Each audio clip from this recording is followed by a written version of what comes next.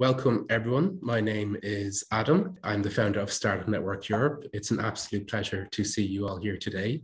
Uh, a very quick introduction. Uh, Startup Network Europe makes webinars for European startups, uh, which attract thousands of founders and investors. Uh, today, we're actually launching the European AI community, uh, which is a community online for AI experts, founders, and investors, and it will be part of a much larger European startup community. Uh, we are co-hosting this event with the Transatlantic AI Exchange, a platform that accelerates and expands the global economic, social, and academic leadership of Germany and the USA in the human machine economy.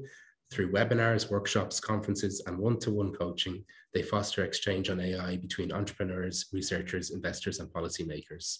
Intel Ignites, a global corporate startup program for early stage startups launched in 2019 by Intel, first debuting in Tel Aviv and later expanding to Germany and the US. They help turn cutting edge ideas into industry disrupting technologies by giving ambitious entrepreneurs the hands on mentorship, technical support, and business acumen they need to build world changing companies. And uh, twice a year, this may be of interest to some of you, they invite cohorts of 10 early stage startups to gather in their offices where they immerse them in 12 weeks of workshops, entering sessions, and networking events tailored to their needs. And Intel Software is our other sponsor, and they aim to connect the worldwide community of developers on all things software and hardware, uh, shape the future of technology to help create a better future for the entire world, and push forward in fields like AI, analytics, and cloud to edge technology. So, folks, our plan for today is very simple. It's a two hour event with 25 different speakers in just two hours. Uh, our first era will have AI leaders, VCs, and we'll hear about Intel's uh, global startup and developer community outreach program. And then in our second era, we will have some AI startup and scale up founders, incubators, angel investors, and experts in governance, privacy, and ethics. Uh, we have actually a link that I will share in the chat box, uh, which has a list of all our sponsors, uh, speakers, all our upcoming events, and uh, also more information about the European AI community. Thank you, Adam, again. Uh, good morning and good evening to the audience, and a big welcome to all 24 speakers today who offer to share their time and knowledge to all of you over the next two hours. Uh, my name is Thomas Neubert. I'm born and raised in Germany, a longtime entrepreneur living in Silicon Valley for over 30 years now. I'm the founder of the Transatlantic AI Exchange and also working at Intel's headquarters in Santa Clara, Silicon Valley, in the data center and AI cloud execution and strategy group. And yes, that's a mouthful. The first EU AI conference is targeting Europe innovators, innovation ecosystems, connecting them to the US, particularly to Silicon Valley. A month ago, the European Commission presented the European Chips Act to foster homegrown secure technologies. 20% of the global microchip production should come from Europe by around 2030. That is twice as much as today, and the market will double during the next decade. With focus on fundamental research, efficiency, new technologies, and market applications, the plan is to build an EU-wide network all this requires a whole European approach. 43 billion euro of public investments will be support the CHIPS Act until 2023, uh, 2030, sorry, and 80 billion euro total over the next decades across the entire semiconductor value chain will go into R&D manufacturing and advanced packaging. All this will create well-paid jobs, but equally important, is that it will build a foundation to also nurture research and equally important startup opportunities. And that's why we are here. Allow me to provide a quick overview of our Transatlantic AI Exchange uh, initiative. As Adam already mentioned earlier, the Transatlantic AI Exchange, we call it TAIEX, is a platform that aims at accelerating and expanding the transatlantic knowledge exchange in the human to machine economy we call it the so-called fourth industrial revolution. We foster exchanges on innovation, especially digital transformation and AI, creating the grounds for entrepreneurs, researchers, investors, small, medium businesses, and policymakers to build long-term partnerships. Again, a big thank you to our sponsor, Intel, who will share some exciting information about our developer community and the global startup program called Ignite. Ignite's mission is to accelerate groundbreaking startups.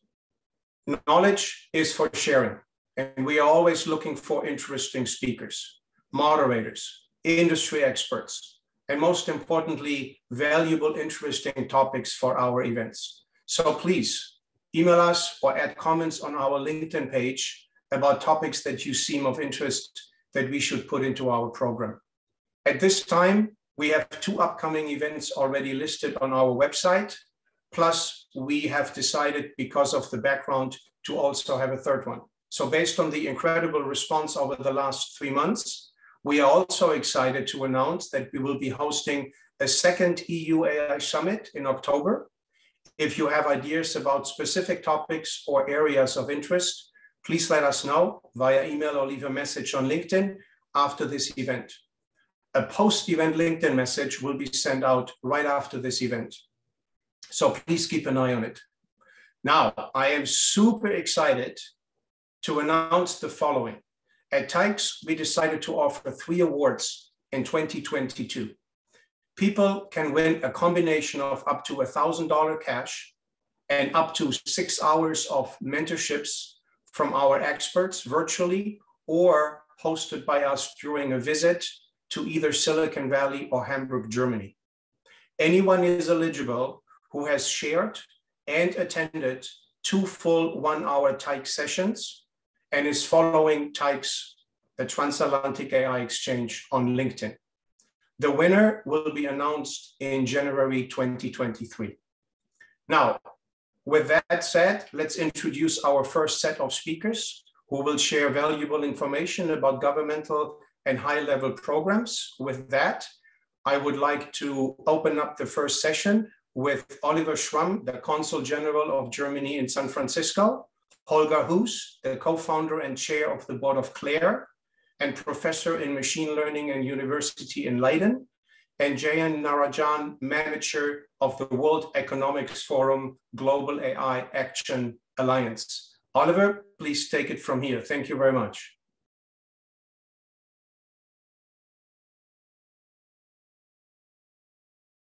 Good morning, or good afternoon, or good evening, wherever you are. Thomas Adam, thank you very much for having me today. And it is really heartening and it's great to see how far the Transatlantic AI Exchange initiative has advanced.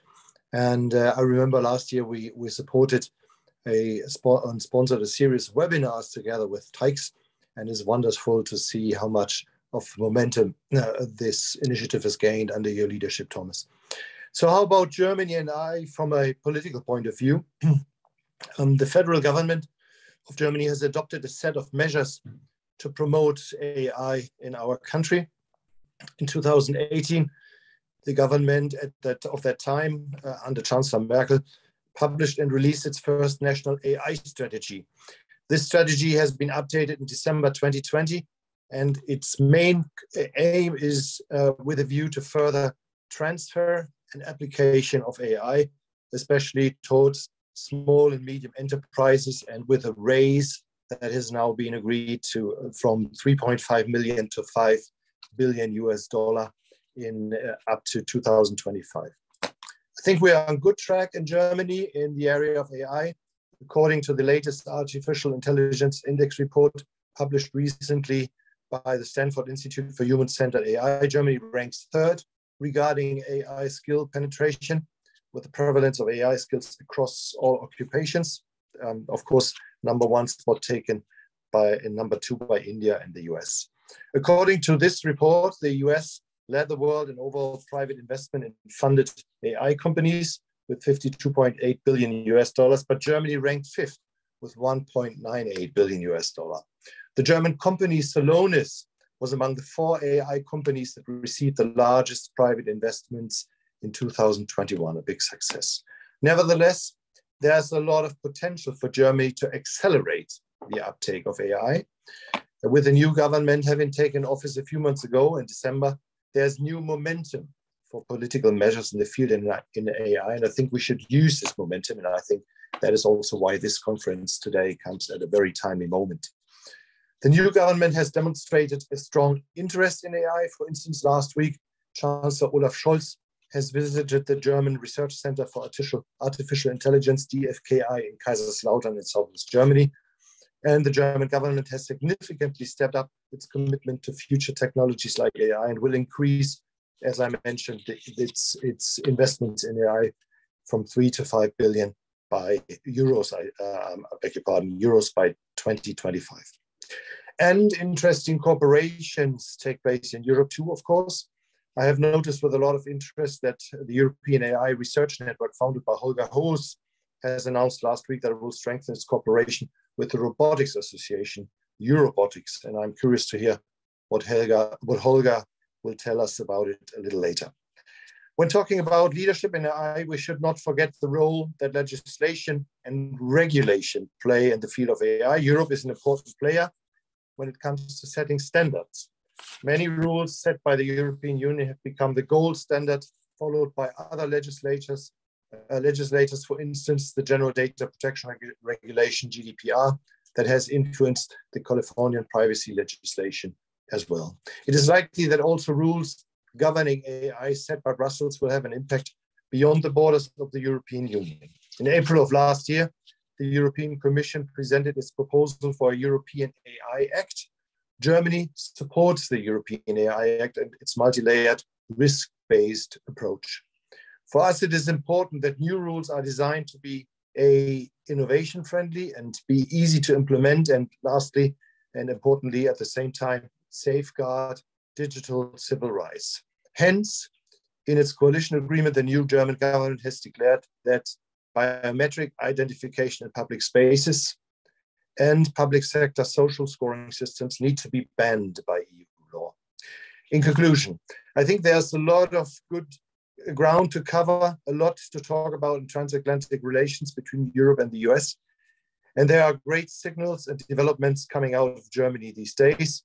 With this, I don't only refer to Intel's fantastic announcement uh, of its investment in Magdeburg or to Elon Musk's Gigafactory that opened today near Berlin, but rather or mostly by breathtaking success stories like that of German startup Aleph Alpha in Heidelberg, raising enormous amounts of money since it started in 2019, operationalizing large AI systems toward generalizable AI, enabling public and private sector to run their own AI experiments and develop new business models. And uh, with a strong commitment to open source communities, academic partnerships, and ethical uh, support uh, to support fairer access to, uh, to modern AI research. I think that's a great way forward and in, in an inspiring perspective for transatlantic AI exchange too. Thank you very much for your attention. Thank you, Oliver over to Holger, please. Hi, Holger. Hey, it's a privilege and a pleasure to be here. In fact, I'm no longer mostly at Leiden University. I'm speaking to you from Aachen in Germany, where I am in the great position to benefit from one of these mechanisms men, uh, mentioned by Oliver, a so-called Alexander von Humboldt professorship, which I just took up uh, in January.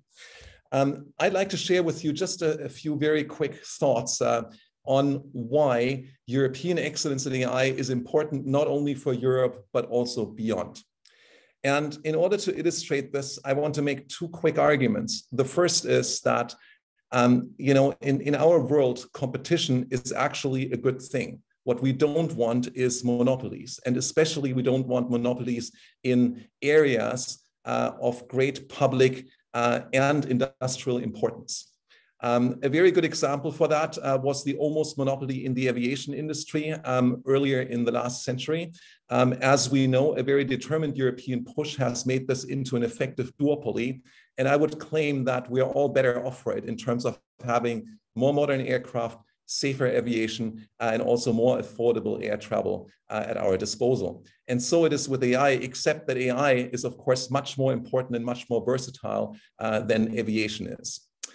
Um, in particular, I think European activities in AI are extremely important because of the kind of AI that Europe is pushing for. And of course, Europe is not alone in this. Um, Oliver already mentioned um, the Stanford uh, Center for, uh, for Human-Centered AI. Uh, and, and of course, such efforts exist not only in the United States, but um, basically around the globe. However, uh, Europe and European member and EU member states um, have uh, made a very strong and public commitment to value aligned, human centered, and trustworthy AI. And as an AI scientist, I strongly believe this is the kind of AI that we need most. What we need is AI for good. AI that doesn't just create economic value. Of course, we want this. This is important for society as well. But AI that beyond that um, is actually aimed at helping us meet the United Nations Sustainable Development Goals. Because reaching these goals will help us to meet some of the biggest challenges that, as societies around the globe, we share in common, such as climate change, such as the current pandemic and future ones to come, such as diversity, inclusion, and the responsible sharing of information. Finally, I think it's very important to embrace the notion of AI for all. And this is AI that isn't just to the benefit of the shareholders of a few large companies, but AI that is broadly relevant and beneficial to society.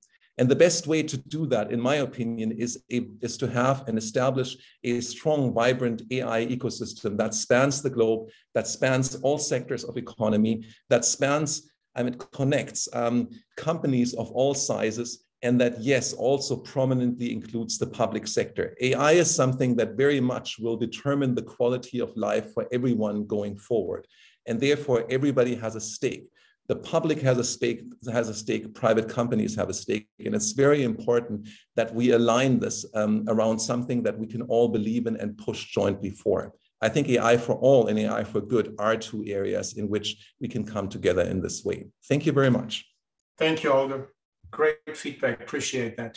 Jayant, uh, what do you have to say from the point of view of the World Economic Forum? Thank you. Thank you so much, Thomas, Adam, and the Transatlantic AI Exchange for having me here. Uh, and a very warm hello to my fellow speakers as well as all the participants.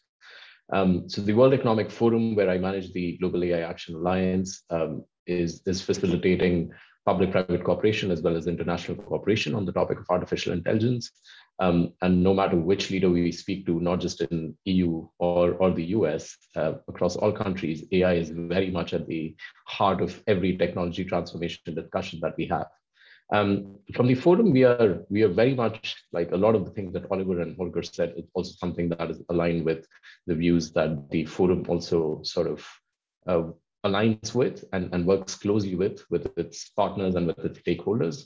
Um, but when we look at this topic of artificial intelligence, then Oliver, you mentioned that briefly. One of the, the most important pillars here is also the funding and investments that are going in.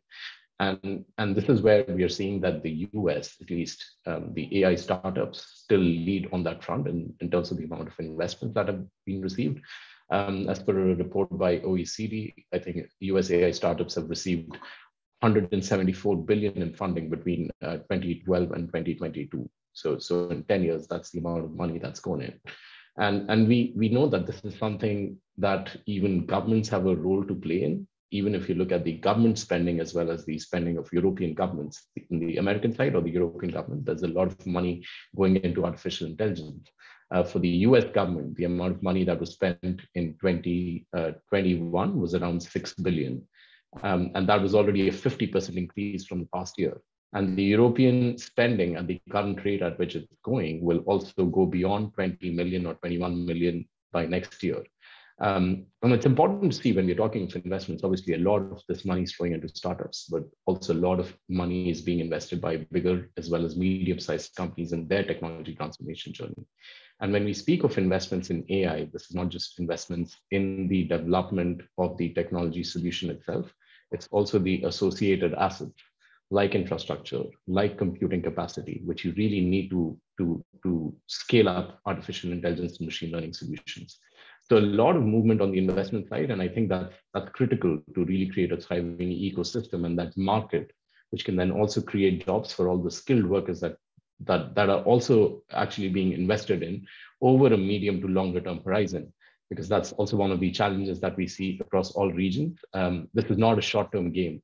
You can't develop data and AI scientists over six months. Sure, you can uh, you can you can uh, equip them with some skills, but not all of them. So that's that's one important element on the investment side.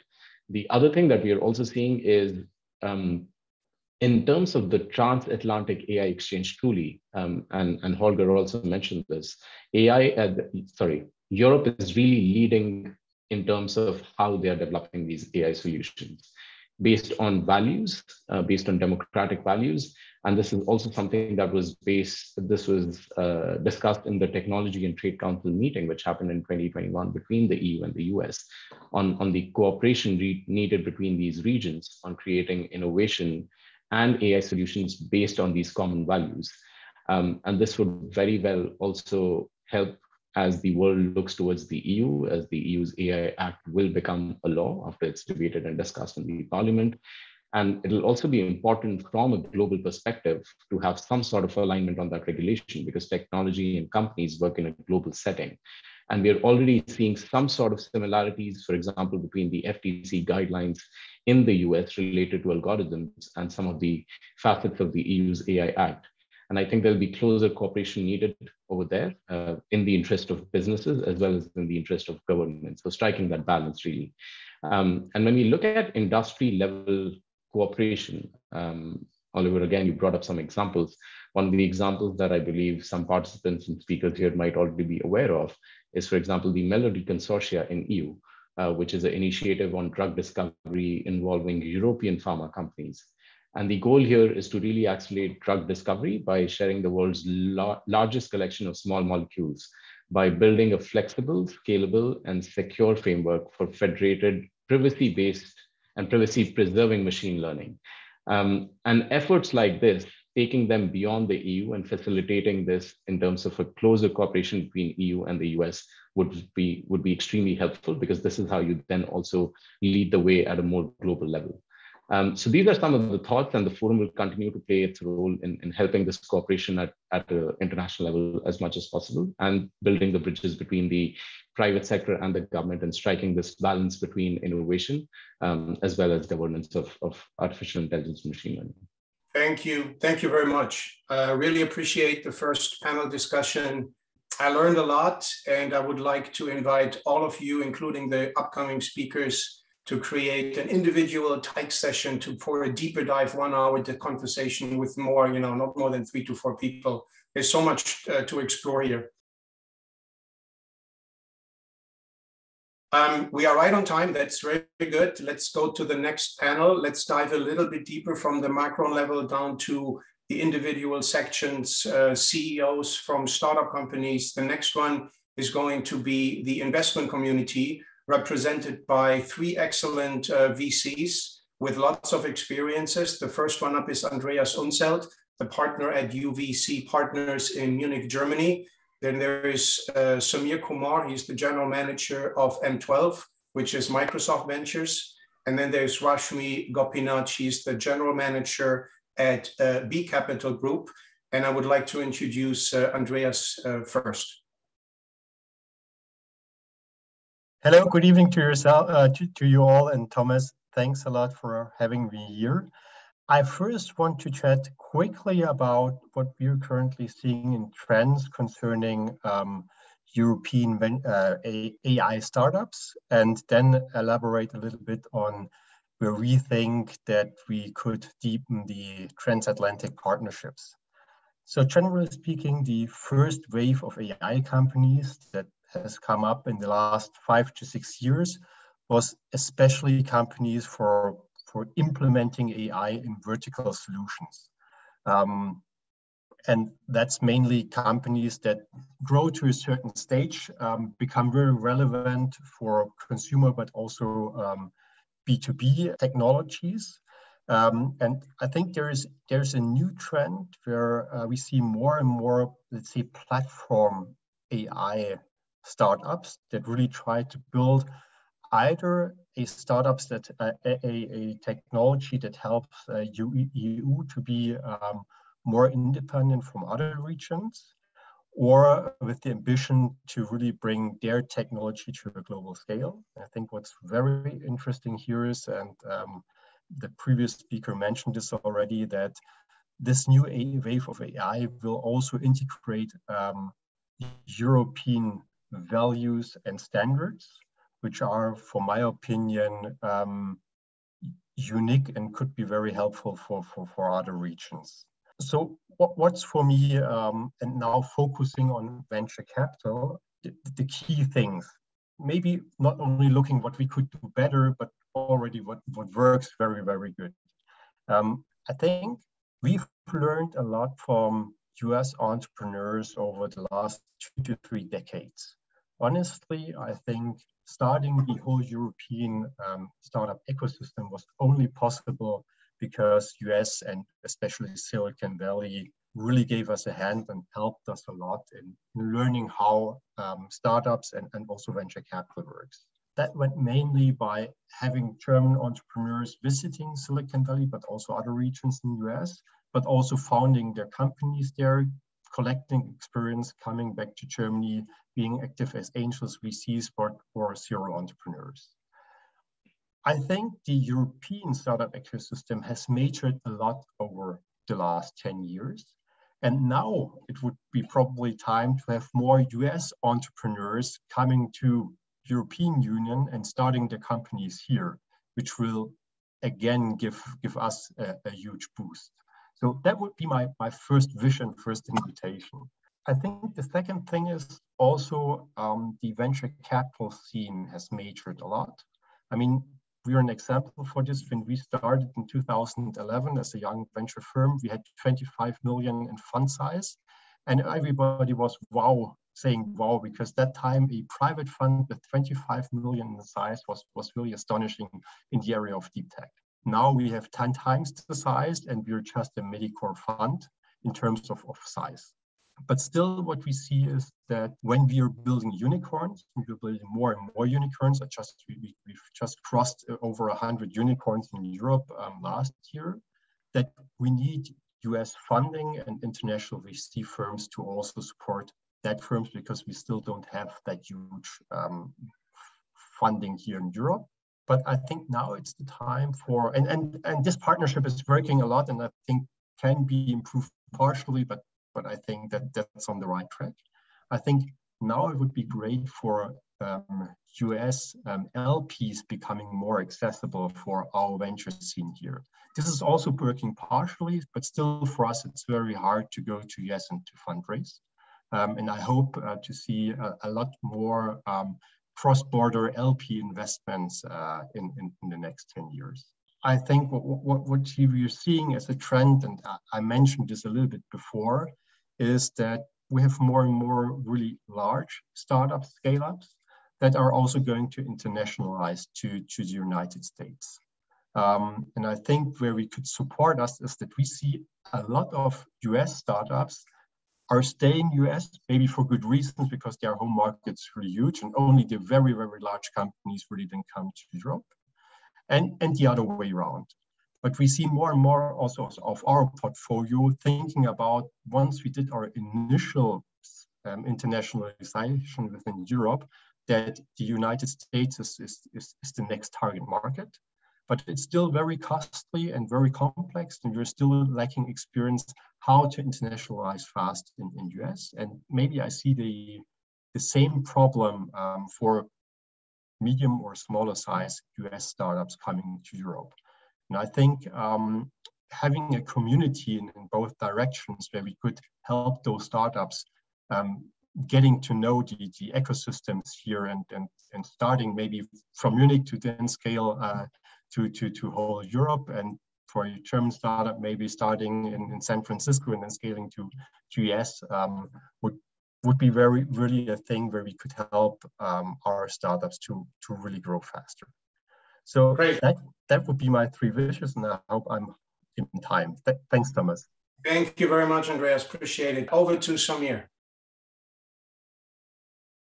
Thanks, Thomas. So, um, you know, I think it's fair to say that yes, there's always a need for more capital in Europe, bigger rounds, bigger VCs.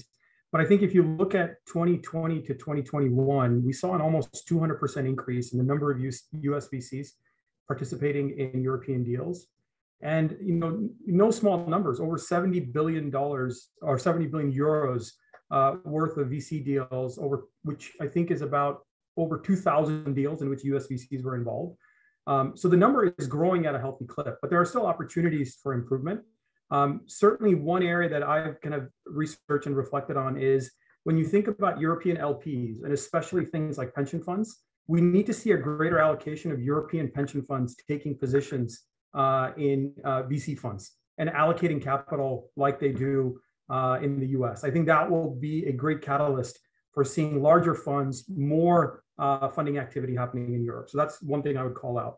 Um, I, you know, as I was listening in on this panel and previous speakers, it's very true that Europe is leading the charge in thinking about values and ethics around AI.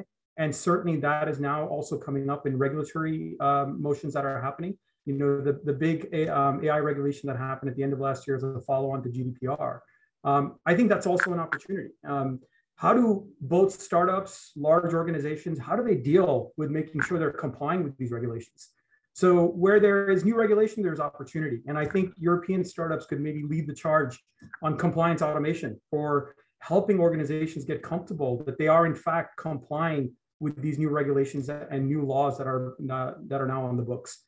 Um, I would also say if you look at the, the new European regulatory landscape, you know, it's, it's very clear on what are considered sensitive use cases, what are risky use cases, but it's not like the regulation says you shouldn't do those. There's a very clear playbook on how to do those in the right way. And that is then also backed up by government incentives to help fund those companies that decide to go into those sensitive use cases and are committed to doing those in the right way.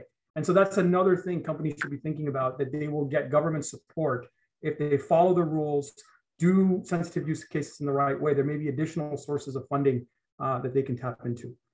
Um, one other thing I would like to call out, having done now a handful of investments in Germany and Austria, I really think there is an opportunity for the digital transformation of the government bureaucracy that overlooks or oversees startup, you know, funding rounds, startup paperwork, you know, company incorporation.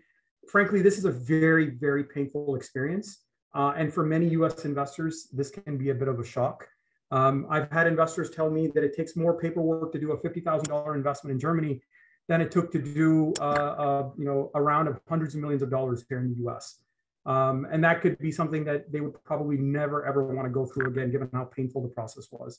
If you think about the notarization process and how lengthy and antiquated that is, if you think about the powers of attorney and wet copies of that that are required anytime you change anything to the cap table, um, if you think about just the back and forth and the amount of paperwork that goes into it, the um, the audits that are required, the the disclosures that are required, they are far in excess of what is happening here in the U.S. And I think it's doing a disservice to the community. It's doing a disservice to founders and to VCs and being able to be agile uh, and you know close the gap with what's happening in the U.S. And I think that's also an opportunity. It will require a partnership uh, with investors with the government and also uh, potentially an opportunity for innovation to help catalyze that digital transformation and how do we make this entire process uh, of funding startups uh, in Europe much more streamlined than it currently is. Now, as far as you know, areas, you know, techno technology areas, I'll be very honest. I, I, see very similar things happening in the U.S. Um, that we see happening in Europe. You certainly see centers of excellence in terms of academic institutions, uh, from where the leading research labs are then, uh, you know, uh, the people in those labs are going off and starting companies. Um, you know, certainly vertical AI and whether it's in healthcare or in automotive, uh, you know, industrial automation and manufacturing is maybe one area where Europe stands out a little bit more, given uh, the very strong, strong um, industrial manufacturing base, especially in Germany, but Europe more generally. Uh, but other than that, I don't see vast differences in terms of technology problems with AI that US companies um, are solving versus European. Just to you know, kind of put it out there, areas I'm excited about that I would love to see new European companies innovate in. Um, certainly simulation platforms and AI infused simulation is one that I think is, is an exciting new trend. Um, being able to think about autonomous systems and autonomous agents and not just operating and acting on the physical world, But increasingly, if you think about the hype about the metaverse, but then you think about what's real and what's actually utilitarian, uh, thinking about digital twins, thinking about, you know, for example, NVIDIA's vision of the omniverse or the industrial metaverse and AI and autonomous systems acting in these virtual worlds. Um, thinking about synthetic data generation and creating platforms to generate synthetic data across all different kinds of use cases and truly as a platform versus you know doing something very custom or professional services oriented which is typically what we've seen from synthetic data plays to date so these are the kinds of things that i would be very excited to see uh, more of in europe i would certainly expect more innovation in robotics and ai uh, again tying back to the, the strong uh, industrial manufacturing base that exists, uh, and especially in Germany. But overall, I think we have great universities um, uh, in continental Europe, in the UK, and from there we're seeing, you know, new innovations in almost the same areas that we see also coming out of U.S. Uh, academic institutions, and in addition to the tech giants. Thank you very much, Samir. Uh, Rashmi, welcome to the panel. Thank you. It's really exciting to uh, speak with this amazing group of people here and really insightful pieces of um, perspectives that were shared by the other folks. For me personally, it's really exciting to see the rapid innovation that we're seeing out of Europe broadly, the DACH region, and Germany as well in AI and in the uh, the newer market innovations across, I would say, the broader technology landscape. UK and Germany, definitely the top two within the European markets, where we're seeing a lot of innovative technologies coming out of, uh, and that was also represented in the funding numbers that we have seen uh, continue to increase uh, over the last two to three years, over 8 billion funding going primarily even just to German tech startups, as well as I would say the emergence of really interesting startups across a variety of different sectors where in the past, I would say a lot of the innovation was specifically tied to robotics or autonomous driving. We're now seeing that expand into areas like um, Watch providing, Credit Tech providing in the SMB and mid-market financing space, uh, or Ada Health uh, on the personalized healthcare space, Gorillas and last mile delivery, Celonis we talked about. So it's really very exciting to see a bunch of these highly valued uh, market category leaders emerging in other sectors beyond, I would say, the core expected sectors on the industrials and the manufacturing side. A couple of things that um, I wanted to call out in terms of uh, opportunities um, that um, that the folks on this call should maybe think about. Uh, I would say the two key opportunities, uh, especially for, for startups and the regulatory frameworks in Europe, one would be around the access to talent. The best companies and the best technologies are primarily attributed to top talent and world-class talent that we that we see in countries like US and China and other regions. And I think this is definitely an area of opportunity for the folks in the DACH region, as well as I would say, especially in Germany, where if you look at the number of PhD students uh, in the field of AI, where I think the latest number for the folks in Germany was 170 compared to over 3,000 in the US. And so, how do you create opportunities to attract uh, the best researchers and the best talent in that region is something to, to think about uh, that can provide, again, a significant uh, acceleration of innovation out of the region. The other thing as well is on the glaring lack of diversity in AI, where um, I would say the percentage of the talent pool for females and minorities uh, in the DACH region, and I would say in regions like Switzerland and Germany are, I would say, below the average of other European countries. And so addressing the underrepresentation of female and diverse talent uh, in the AI community uh, would definitely be great to, to see more done around that. And then the last one I would say is around balancing the need between data privacy and protection and leveraging data sets to drive better outcomes. Uh, obviously, this does not mean that uh, lower regulation, uh, but really around how do you better integrate this, these uh, diverse and disparate systems to get insights out of those um, out of those platforms that can drive better outcomes, uh, both for the enterprise customers themselves, but also for the broader population. That's something that I know a lot of companies always keep in mind is the data data regulations in EU are a lot more stringent than those in other regions. And so how do you leverage technologies like maybe data encryption and data masking, synthetic data creation uh, across those AI platforms so that the data can be better integrated and leveraged uh, between the systems uh, while also balancing the need for, for privacy um, and data protection.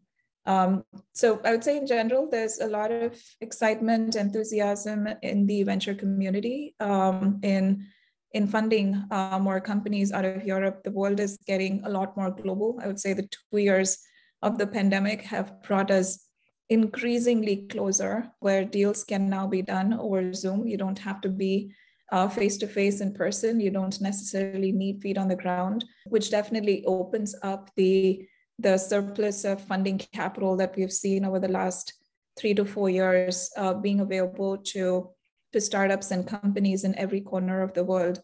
So while that happens, I think the more visibility and awareness that companies in the transatlantic region can create for the investors in the US and other markets, I think that definitely is going to yield much better outcomes for, for all of us globally.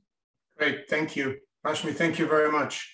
Two takeaways from my end. One is there was so much content, valuable content shared over the last 15 minutes by the VC community.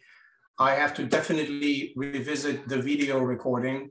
And second of all, uh, I think the topic itself is worth a dedicated transatlantic AI exchange topic around VCs uh, in the upcoming months. So incredible um, value that was shared here. Thank you very much. Uh, Thomas, um, if I can just uh, add to that, uh, we shared some polls uh, during surveys during the last um, session, and uh, this is incredible. One in three people uh, attending this webinar right now are looking for investment for their company. So uh, good luck to everyone looking for investment. I will share something in the chat box where you can see more information about the VC speakers and their VC firms. and also in terms of location, uh, it's very diverse today. We have lots of people from Germany, lots of people uh, across Europe, but also people from India, I believe, and the United States and the United Kingdom. Um, it's really interesting to see this uh, sort of dynamic. And finally, in terms of attendee roles, this is very interesting as well. Uh, one quarter of people here are founders or CXOs, uh, but we also have a lot of uh, AI and technology scientists, academic students, and um, there's a very big mix of uh, what companies uh, people come from in terms of size. So go ahead, Thomas. Thank you very much. Uh, thank you very much, Adam. That is uh, very interesting news you just shared. Uh, it even further justifies what this transatlantic platform is all about. So if you go on our website, there are previously nine sessions uh, equal for one hour uh, deep dive conversations about startups and founding and transatlantic businesses. They're all recorded. You can watch the videos for free. It also justifies further that we are going to do more startups tailored sessions in the next few months. So I'm inviting everybody to participate uh, if they'd like to do so. Moving along, we are now into the next panel of this conversation. I would like to introduce our sponsors, uh, Intel. Uh, on one side, there is uh, Joe Curley, is the Vice President and General Manager at Intel Software Products and Ecosystem. There will be Zach Weisfeld, he is the Vice President and General Manager for Ignite, the Intel for Startups initiative that we have uh, pulled off a few years ago and we are going global now. That one is going to be a recording. He had a conflict, but he didn't want to miss to uh, get his message across. And then last but not least, we also invited one of the Intel Ignite uh, participants, a startup company out of Germany. And uh, I would like to introduce Tristan Rouillard, also he's the co-founder of Hasty. With that in mind, Joe, welcome this morning to the panel. Well, thanks so much, Thomas, and thanks to everyone at the Transatlantic AI Exchange. It's a pleasure to get a chance to be here and join the forum and to listen to so many of the speakers. Some of my themes while I'll be talking about technology, actually talk very much about some of the global economic and social aspects that have already been uncovered. One of the one of the problem statements that I work on every day is as we look at uh, the, you know the, kind of the explosion of data where there you can look at different data sources but if you think there may be 200 zettabytes of data stored in the cloud cloud within a couple of years the underlying compute that's necessary to be able to digest that to gain intelligence from it to to take the innovations you're building and turn them into value um, is growing at a geometric rate and there's there's a, a, a problem that comes with it it's the power for which we're going to actually power that compute is growing, it's, well, very slowly, or it's almost only flat, which is leading to uh, an idea of acceleration. And th there were some comments about a conference going on today uh, from uh, another company talking about all of the innovations that they're doing uh, for, for uh, AI and other topics. Um, the, the, bottom line is, is that new technological architectures are going to have to blossom in order to be able to handle this data explosion. There's a wonderful paper from Hennessy Patterson done a couple of years ago that describes it as the Cambrian explosion of novel compute architectures. Pretty exciting times in terms of innovation, especially if you're starting up your business and you're, you're, you're looking at how Europe can grow the semiconductor industry and what types of products will serve the, the AI explosion. There's a problem with this though, which is how the devil does anybody ever program one of these things? One of the things we hear all the time, I was just speaking to some scientists at CERN, is these novel architectures are lovely, um, but I have to rewrite my code and take years in order to be able to utilize one of them.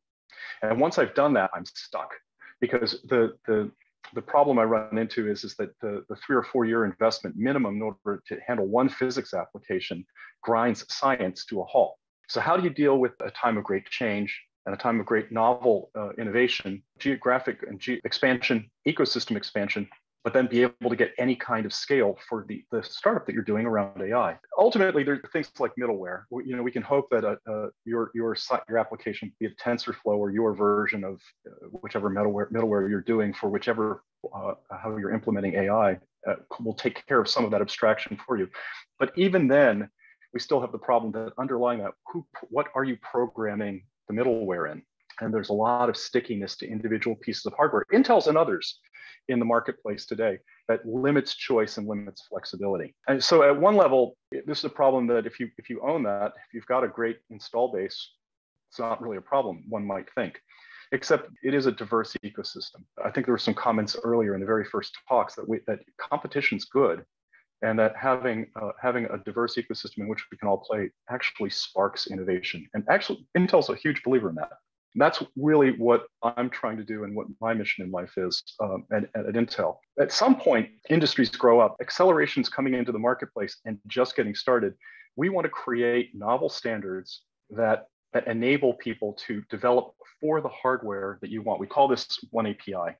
Um, when we announced the oneAPI, it's a, it, was, it was a bold step, a multi-standard, multi-vendor architecture with languages, libraries, and standard bindings and interfaces that allow developers wherever you are choose what hardware you want to use rather than having your hardware choose it for you. I'd like to spend a lot of time talking about it, but I noticed that I'm almost out of my own talk time. I'll simply say that since we've been able to bring oneAPI to market, we have seen it be used successfully on CPUs, GPUs, FPGAs, ASICs from companies in Europe, in China, in America. But Intel exhibited on AMD, NVIDIA, Xilinx, and many other vendors true cross-platform compute uh, uh, standards AI. If this is at all interesting to you, if what you want to do is increase the serviceable and addressable market, when you make, when you're in your startup, when you're at your phases, you're going to make some critical choices, uh, either for open and extensible languages or for expediency. Uh, we'd encourage you to take a look at open and extensible. And if you're interested in more on that, uh, take a look at uh, oneapi.io for our open source repositories or specifications or uh, one intel.com, software.intel.com, to actually uh, try out our tools and what, where we are today in the process. And if I, it sparked an interest in very, very limited time, or you could even just DM me at uh, Jay, look Jake Curley up on uh, Twitter, and um, I'm happy to talk to you more about what we're trying to do. Now, when, let's move from the idea of a product that opens up ecosystem to uh, ways to help evolve your, your startup. And uh, I think my comrade Zach will come in and tell us about just a moment. Thanks, Joe. So, if you've heard, we're all about openness and acceleration, time, performance, and revenues, which I'm sure that most of you are going to subscribe to. My name is Zach Weisfeld, and run I run Intel Ignite. Intel Ignite it's, is Intel's early stage startup program. It's an acceleration program, and it operates currently out of two locations Tel Aviv, Israel, and Munich is our European headquarters. And soon we're going to open our Boston location as well as our London location. So at Ignite, we're taking groundbreaking startups and we help them be even more successful faster. Uh, we have a pretty rigorous selection process, about three months of, of a selection process for each batch. Um, and it, we accept only about 4% of the companies that apply. It's a 12 week, very intense program. It's a high touch program where we open up all of our access to markets, experts, mentors, uh, technologists for startups that are trying to, to break through their specific uh, uh, area of expertise or IP. And our portfolio has grown more than 400% in these past couple of years that we exist. Lately, we also grabbed the number one spot of, of the top startup accelerator program in Tel Aviv, which is a very um, a competitive market. Uh, we got awarded by Geek Time, which is the leading uh, tech blog of, of Israel. So it may surprise some of you that we take companies uh, that not only are hardware, semiconductor, um, or silicon companies, we take a lot of companies in the AI space. So actually, more than 60% of the startups that, that get accepted to Ignite are either developing platforms for AI or are leveraging AI for, for their needs for what they're developing to the world. They're using AI to solve real, real world problems, right? Building um, a variety of solutions out there. Uh, so we're seeing massive usage and deployment of computer vision, NLP, neural networks. And we believe that AI is a great opportunity for startups to leapfrog current incumbents. And also, what we see is that AI fuels a lot of the funding rounds that are happening right now, and the valuations, which are the which are the highest ever in in the startup world. So, what are we looking for? We're looking for startups that have great technology, so they have real IP, their technology, uh, very strong teams. We like pretty balanced teams. We're looking for startups that raised more than a, more than one million dollars. We don't want you to starve while you, we're working with you on a, on your on the product market fit of your your solution, as well as well as we're looking for teams that are willing to learn because we're a very mentor heavy program. We bring a lot of people to help you learn about the markets you're in and and help guide you through that journey. So you need to be open to to learn from that. Um, and if you want to learn more and hear more about uh, about Ignite and about how Intel can help you as a startup, more than welcome to go to intelignite.com and learn more about us, about the portfolio companies. So you can probably see a lot of companies in similar spaces that you're at, and also how to apply. We're currently in the process of accepting companies to our batch six in Tel Aviv and our batch three in, in Munich, in, in Europe. So if you're a European startup I think there was there's not better time in history to be successful, leverage a company like Intel in making you more successful. So join us and, and apply to Intel Ignite and let us help you be successful. We want to co-create great technology future together with, with groundbreaking startups. So thank you very, very much, Thomas, for having me here, and we'll be more than happy to answer any of the questions you have. Thank you. Great, thank you. And right over to Tristan, who was actually participating in, in one of the uh, Ignite batches. Tristan, why don't you share your viewpoint with the audience, please? Thank you. Thank you, Thomas. Uh, yeah, to to start with, we're Hasty.ai. It's one of these platform AI startups that Andreas was referring to in his speech earlier if we start with the premise that today companies are defined, or their competition is defined by the need that they address as opposed to the sector they traditionally came from, the need for such companies to add value added services to their products to differentiate them is ever increasing. With that in mind, Hasty um, works together with agriculture, construction, logistics, and medical startups to add Vision AI to their products and services and make it faster and easier for them to do this reliably. We work together with Intel with the, the, the Ignite program because it's quite clear where Hasty and Intel are ecosystem players and complementary players. Intel provides the compute power and the install base that AI runs on top of, and we sit very nicely on top of some of this middleware that Joe was referring to in his speech, um, OpenVINO specifically in this case. So we sit uh, uh, very nicely and neatly on top of OpenVINO to help companies train those AIs more reliably and faster and to implement them. So to, to open up the use case for companies that, that, that are looking to do that. The Ignite program's got two major components to it. It's mentorship from internal and external mentors at Intel. Uh, for us, this was wonderful. It really provided four to five concrete opportunities through various departments, one of them being Joe's department, and we're very excited about that. Uh, the second part that we did was an exchange between uh, experienced founders that spoke on relevant topics throughout the program. So the, the weeks are themed and they get fantastic uh, founders to speak to us about these themes uh, throughout. Uh, so the learning from those experienced founders from their actual journeys, as well as from founders from our cohort, uh, from uh, our batch peers, we had incredible learnings from. So our takeaway is we did change the way we ran our company as a result of the Intel Ignite program. We had very concrete takeaways from it. They totally delivered on the ask in the beginning. They asked us what we're looking from the program. It was delivered in terms of real concrete opportunities of what we can do together with Intel. We have four or five of those. And I would say they over delivered on aspects we didn't anticipate.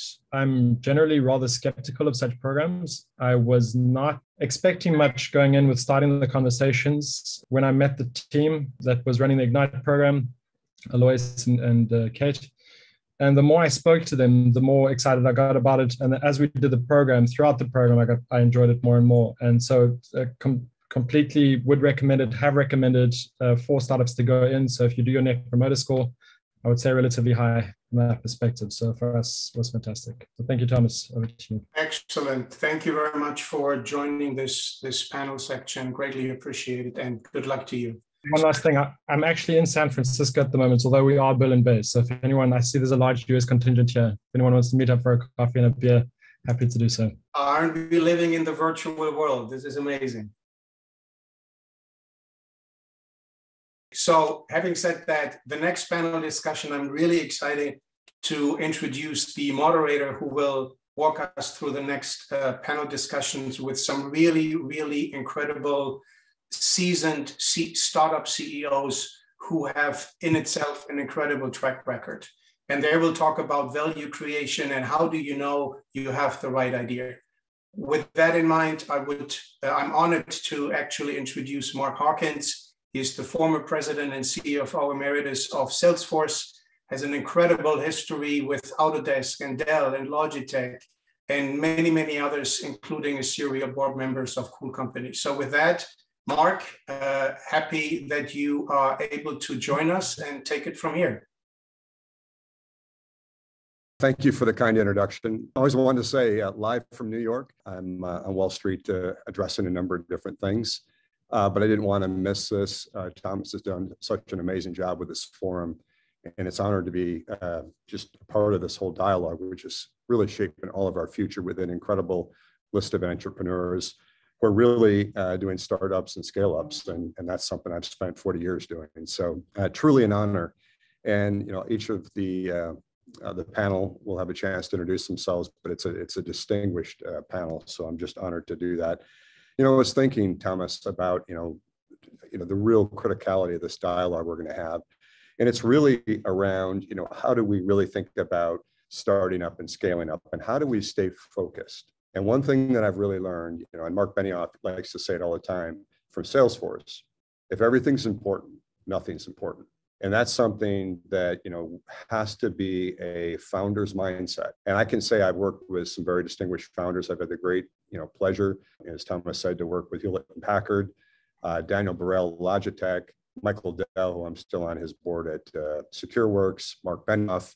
Uh, it's been quite a quite a journey, not to mention the, the newer uh, startups that we're dealing with. But staying focused and staying prioritized on what creates value you know, I think it's so interesting with AI. It's like an instant success, right? It took 50 years to get here, to get through the hype cycle. And now there's all kinds of use cycles. And when you hit into use cycle where you can solve a specific problem a need that's unmet in the world and you pursue it with just a tremendous tenacity, the ideas become bankable and the ideas become actionable and the ideas become super exciting to go ahead and, and start up and scale up. So that's what we're here today to talk about. Uh, couldn't be more honored to do that with the group of, of folks here. My last comment before uh, turning right over is that when we're focused, the North Star for me has always been values. Values drive value. And they've been the North Star for us customer success, trust, innovation, doing something, in equality, doing something better than anybody else in the world has done it, and solving a problem will bear beautiful fruit and will be a great journey. It won't be easy, it'll be bumps along the way, but what a journey it'll be. And on that note, let's go, let's go right into the, uh, the discussion. We have so many good people to talk about that, proven entrepreneurs who are really making great project, uh, uh, progress rather. And uh, Cyriac, why don't you start out with your thoughts and we'll, we'll go from there.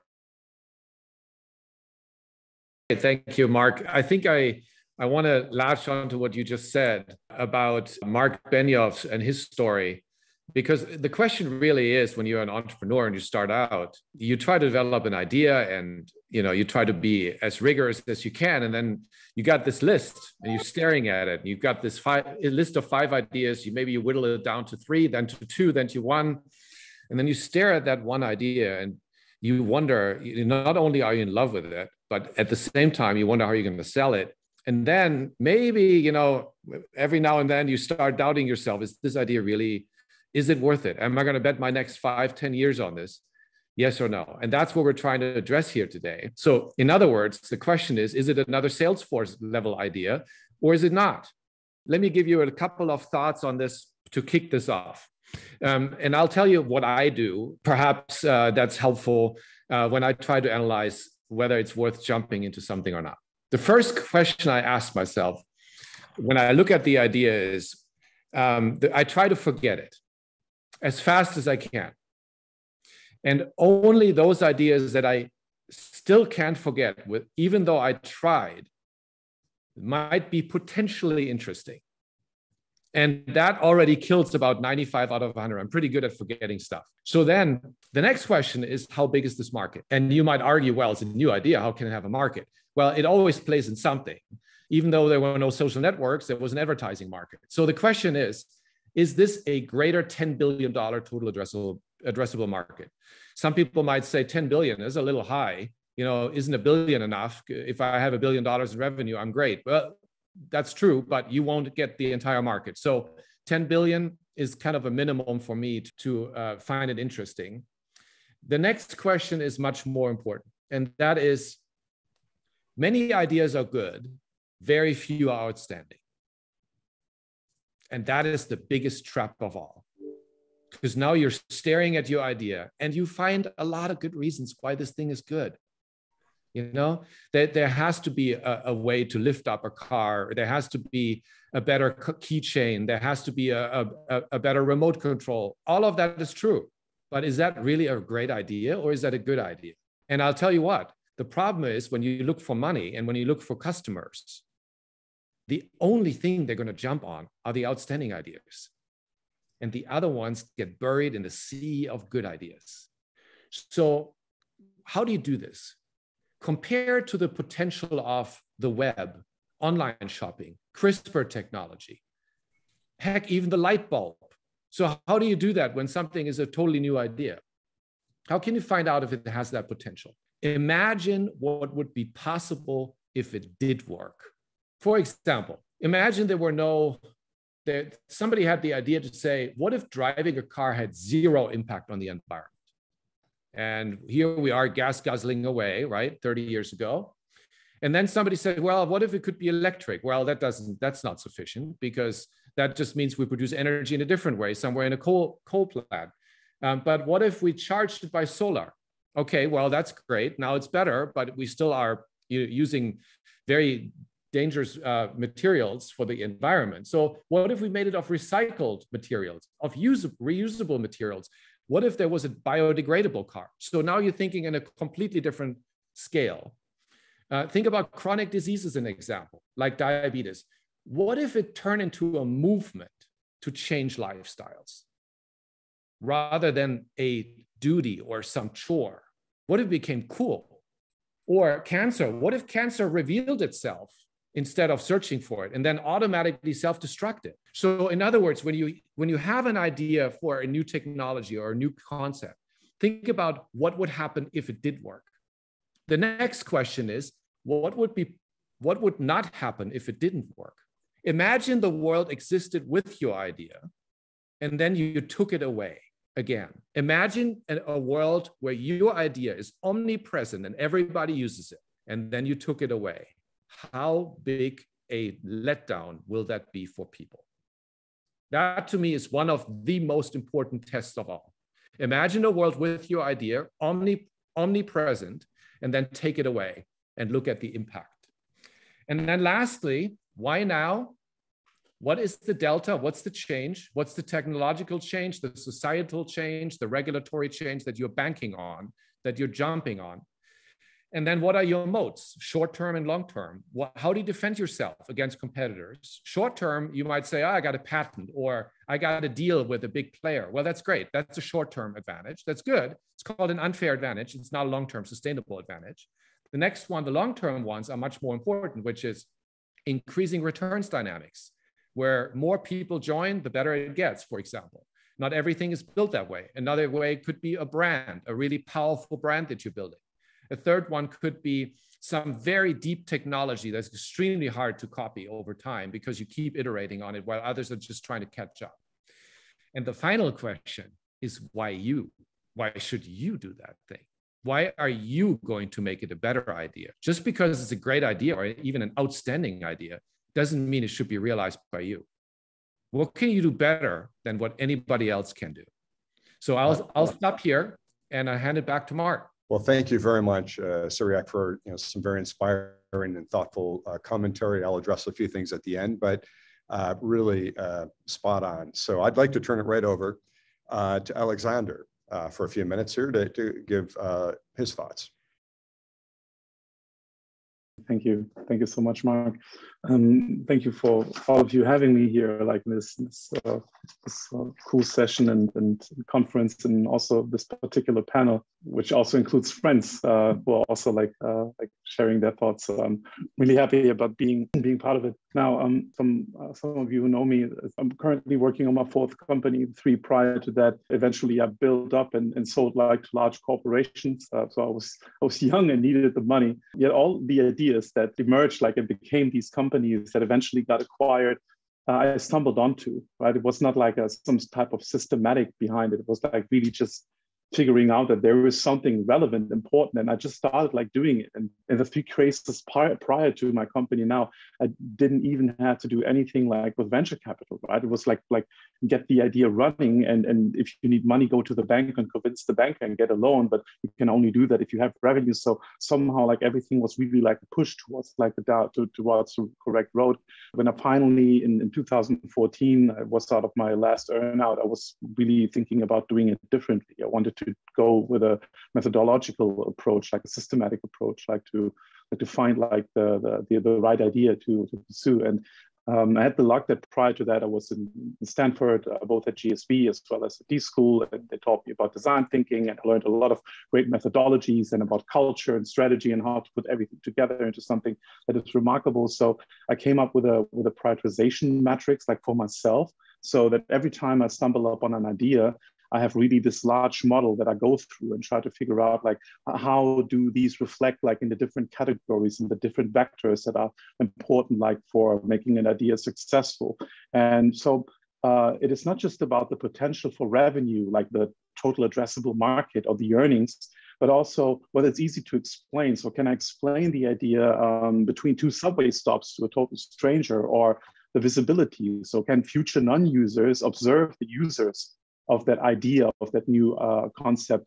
Put it differently uh, is it a tesla that everybody sees when you buy it or is it like a herpes cream that nobody wants to talk about right? Like so uh, those kind of things are also like involved like in this complete self conversation that i have when i when i try to understand like whether an idea is good or not. Uh, but it's also like aspects like whether do I do I really control the resources that are necessary in order to implement at least like the first or the second stage of such an idea? Because otherwise I really quickly get to a point where I maybe have a great idea but I'm simply incapable of of getting it up and running and I might lose time on that. And then of course which is like one of the most important aspects i think like in the complete heuristic and is really like a very complex form. It's like takes me 20 minutes like to write down every every idea and it comes up with a score to tell me like where to put my attention to which type of idea should so to say get like my full focus. Um, but one in, in this in this in this heuristic there's like one uh, most important part i would refer to which is like whether an idea goes along with my values and whether it will make me happy on the long run to pursue like this idea, knowing that the long-term idea of making it successful and maybe eventually exiting it will only be at the very end, like of the, or maybe like even at the middle, like of the complete journey. But during the journey, I will have to face a lot of, a lot of constraints, a lot of pushbacks, a lot of, a lot of things that will have to cope with negative things as well. Um, and will the idea uh, provide me with enough motivation and with enough uh, strength, like really to sustain through these uh, through these uh, um, hard times that every entrepreneur knows about and everybody who wants to become an entrepreneur should totally be aware about. There will be these times. Now um, kind of interesting like i entered in 2014 like particularly with this concept with this model uh, i went to south by southwest in austin like to find like my next new idea and was was unfortunately the witness like of a of, a, of an accident where where uh, many people died. And the only reason for that happening was uh, that information that was actually available, like in sensors, in, in, in, in, in the police, in the, in the smart cities, controls rooms, and even like on the smartphones of the people who were, who were observing that, uh, was not brought like into one common place. So um, at the very end, with all of these heuristics, I stumbled actually like on the, on the on the on the core idea that formed like my today's company Ava, which is all about being a little bit, you know, like the weather forecast, but not for wind, rain, and sun, but for crime, terror, natural disasters, every type of critical incidents and risks.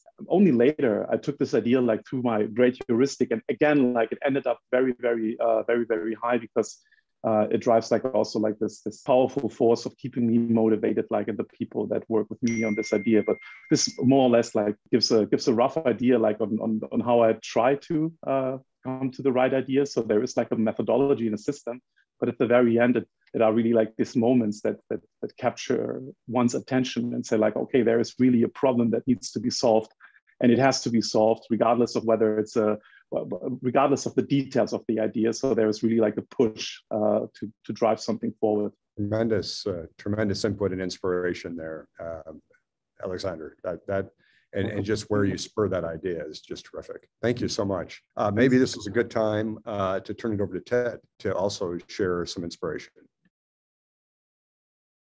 Appreciate you having me, Mark. Thank you.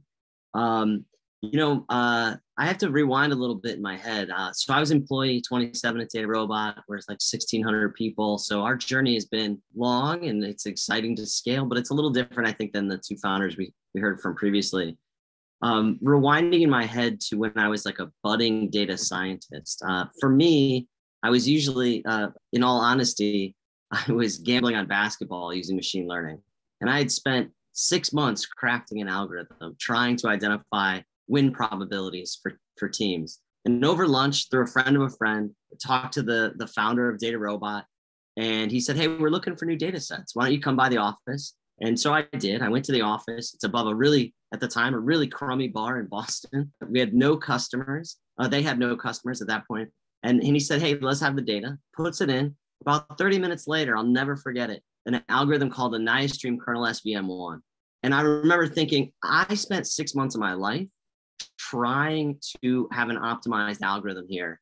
And an algorithm in this platform was identified in 20, 30 minutes. And I had never even heard of that type of, of algorithm, that, that specific type of SVM.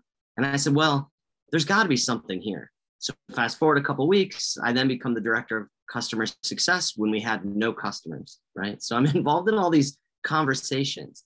And for me, what it came down to is what is the value proposition? And for me, recognizing the value meant seeing some, uh, experiencing some pain that had to be overcome understanding the, the hardships of a data scientist um, and those types of and, and, that kind of prior knowledge led me to recognize the value in DataRobot, which, like I said, it was very early days, but not quite the perspective of these founders who, uh, you know, have very inspirational, good, reflective questions. They were already on a journey, but for me as an early employee, when do you take that gamble at a company who has a Series A?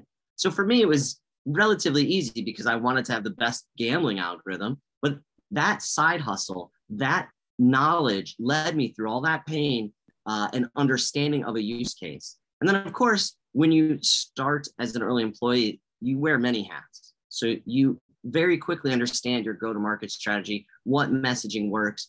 You, you're calling up friends saying, "Hey, can we just get a demo of our product in front of people?" and so on. So you very, it's never linear, right? Like I'm sure all these VC partners are saying, "Oh, I all I see is hockey sticks," right?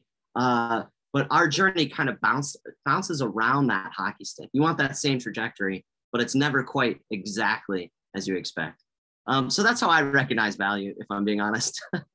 well, that's a that's that's a lot of a great input, and also just your point of taking a passion, applying technology, use cases, and and getting creative. And I think uh, again, very inspiring, Ted. Uh, let's uh, have Cindy weigh in here. I'd love to hear her points uh, and inspiration.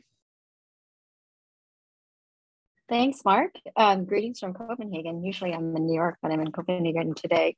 Uh, and uh, this is, I love this topic because value creation is, is something uh, that really resonates with me. There's a lot of friends on the screen here and, and it's great to see you all uh, here. And how do you know if you have the right idea? Well, um, there are a couple of verticals that I think of, and it's almost from an investor standpoint and lens uh, that I look into when I think about what should be built or what ideas are really interesting. Most of the things that I look into have a data element to it. Um, so you know, data is is uh, very key and pivotal. We're only going to move forward and more towards we're generating so much, so many terabytes into uh, unreal territories now. So with data, that's like the first element. The second is uh, what are universal, simple ideas that tend to uh, be a problem for a lot of people, regardless of their geographics or regardless of their, um, you know, even occupation, so to speak. And one of them, actually in 2014, Alex was one of the first people that Alex told his idea about AVA and public safety. And I said immediately, yes, right, immediately. It's a universal problem. It's subjective depending on which part of the world you're in, depending on uh, how old you are, et cetera. And it's a problem that needs to be solved, especially for women, right? We're talking about a lot about diversity and that what that play is. There's not enough solutions out there uh, when it when it comes to other things. So when he said that immediately, I said yes. You know, came on board as an advisor, invest now investing in it um, as well. And so these kind of ideas, these trends already existed prior before the problems, or excuse me, the problems existed prior before the ideas happened, right? And so you know what are those trends again that go there so safety was one uh, another is you know typically um, time so with clipper in march of 2020 which i hope um, adam you and thomas will put these, these sessions onto clipper so it can uh, give some value to all the attendees who weren't able to see it or wanted to go back and see it. Um, is a video um, ai solution for you know to save time so not everybody can spend five, six hours on a European AI conference, but if they want to catch up on it, Clipper does that for you um, with our, you know, machine learning algorithms and our AI algorithms so that you can focus on the moments that matter, which is what we say here. Um, and, you know, so time, safety, and then uh, uh other verticals that really kind of, I look at where does it exist that it can make a whole market, right? If, if there's a lot of ideas that are looking for a problem to solve, those are not going to be the best ideas. You know, you have to find a problem that needs to be solved, and then you build that idea. I think because otherwise, um, I, I've spoken to thousands of startup founders that you know who've come to me for advice or even in these speed dating sessions at these conferences, um, and it, it's very hard.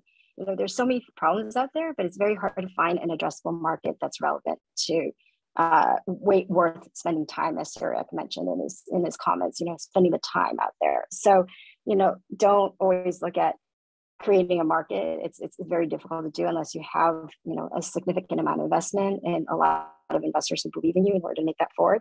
But for that case, you know, that's something else. And then lastly, um, looking deep into the markets out there is where does talent pool exist, right? Um, I always think I, I don't hesitate in looking at P- and developers GitHubs and seeing where all the developers go because if they're excited out there, you're going to have the best engineering talent out there.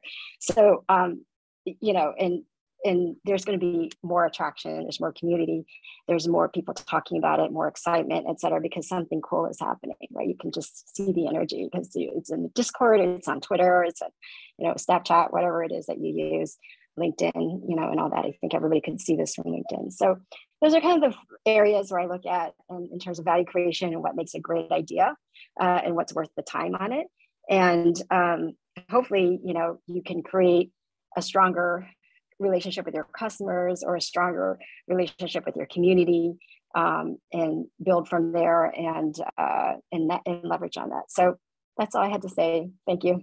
Uh, Cindy, thank you for that. Tons of great ideas from every one of you. You know, you, you and Ted and Alexander and uh, just uh, Cyriac and uh, just you know the whole dialogue has been inspiring. Just a couple quick takeaways. I'm going to turn it over to Thomas because I know time is tight.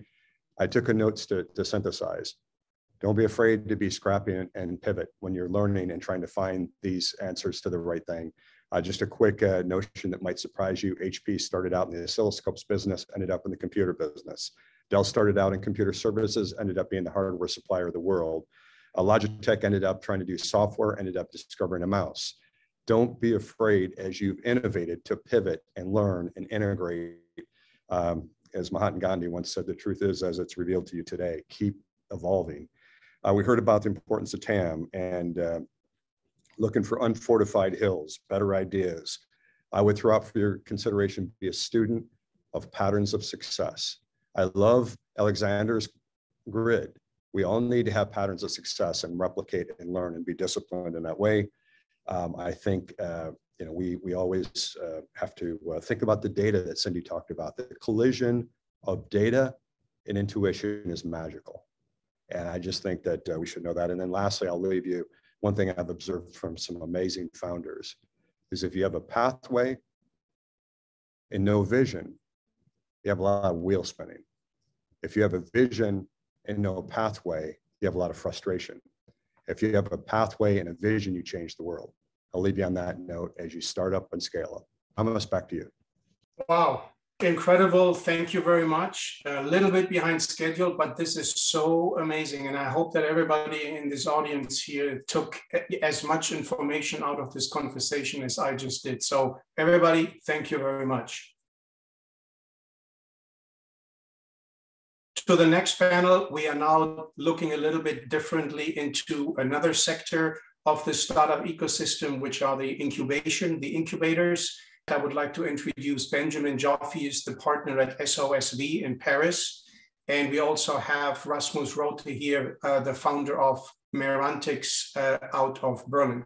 With that, Benjamin, please uh, go ahead, take it over from here. Thanks, Thomas, for having me. And uh, yeah, so it was uh, really interesting to hear like uh, what all the previous speakers had to say about building teams and looking for opportunities. And for us, it's particularly relevant because um, so SOSV is a very large uh, fund today. It has a 1.2 billion US dollars under management, uh, but we invest uh, pretty much first checks into all the or, new companies. Every year, we invest in over 100 startups, particularly in uh, what's called uh, deep tech, uh, in hardware and biology. And we run programs to support generally the first few founders and their prototype to uh, build it into a more advanced or commercial uh, product and uh, turn what's a science project into a company.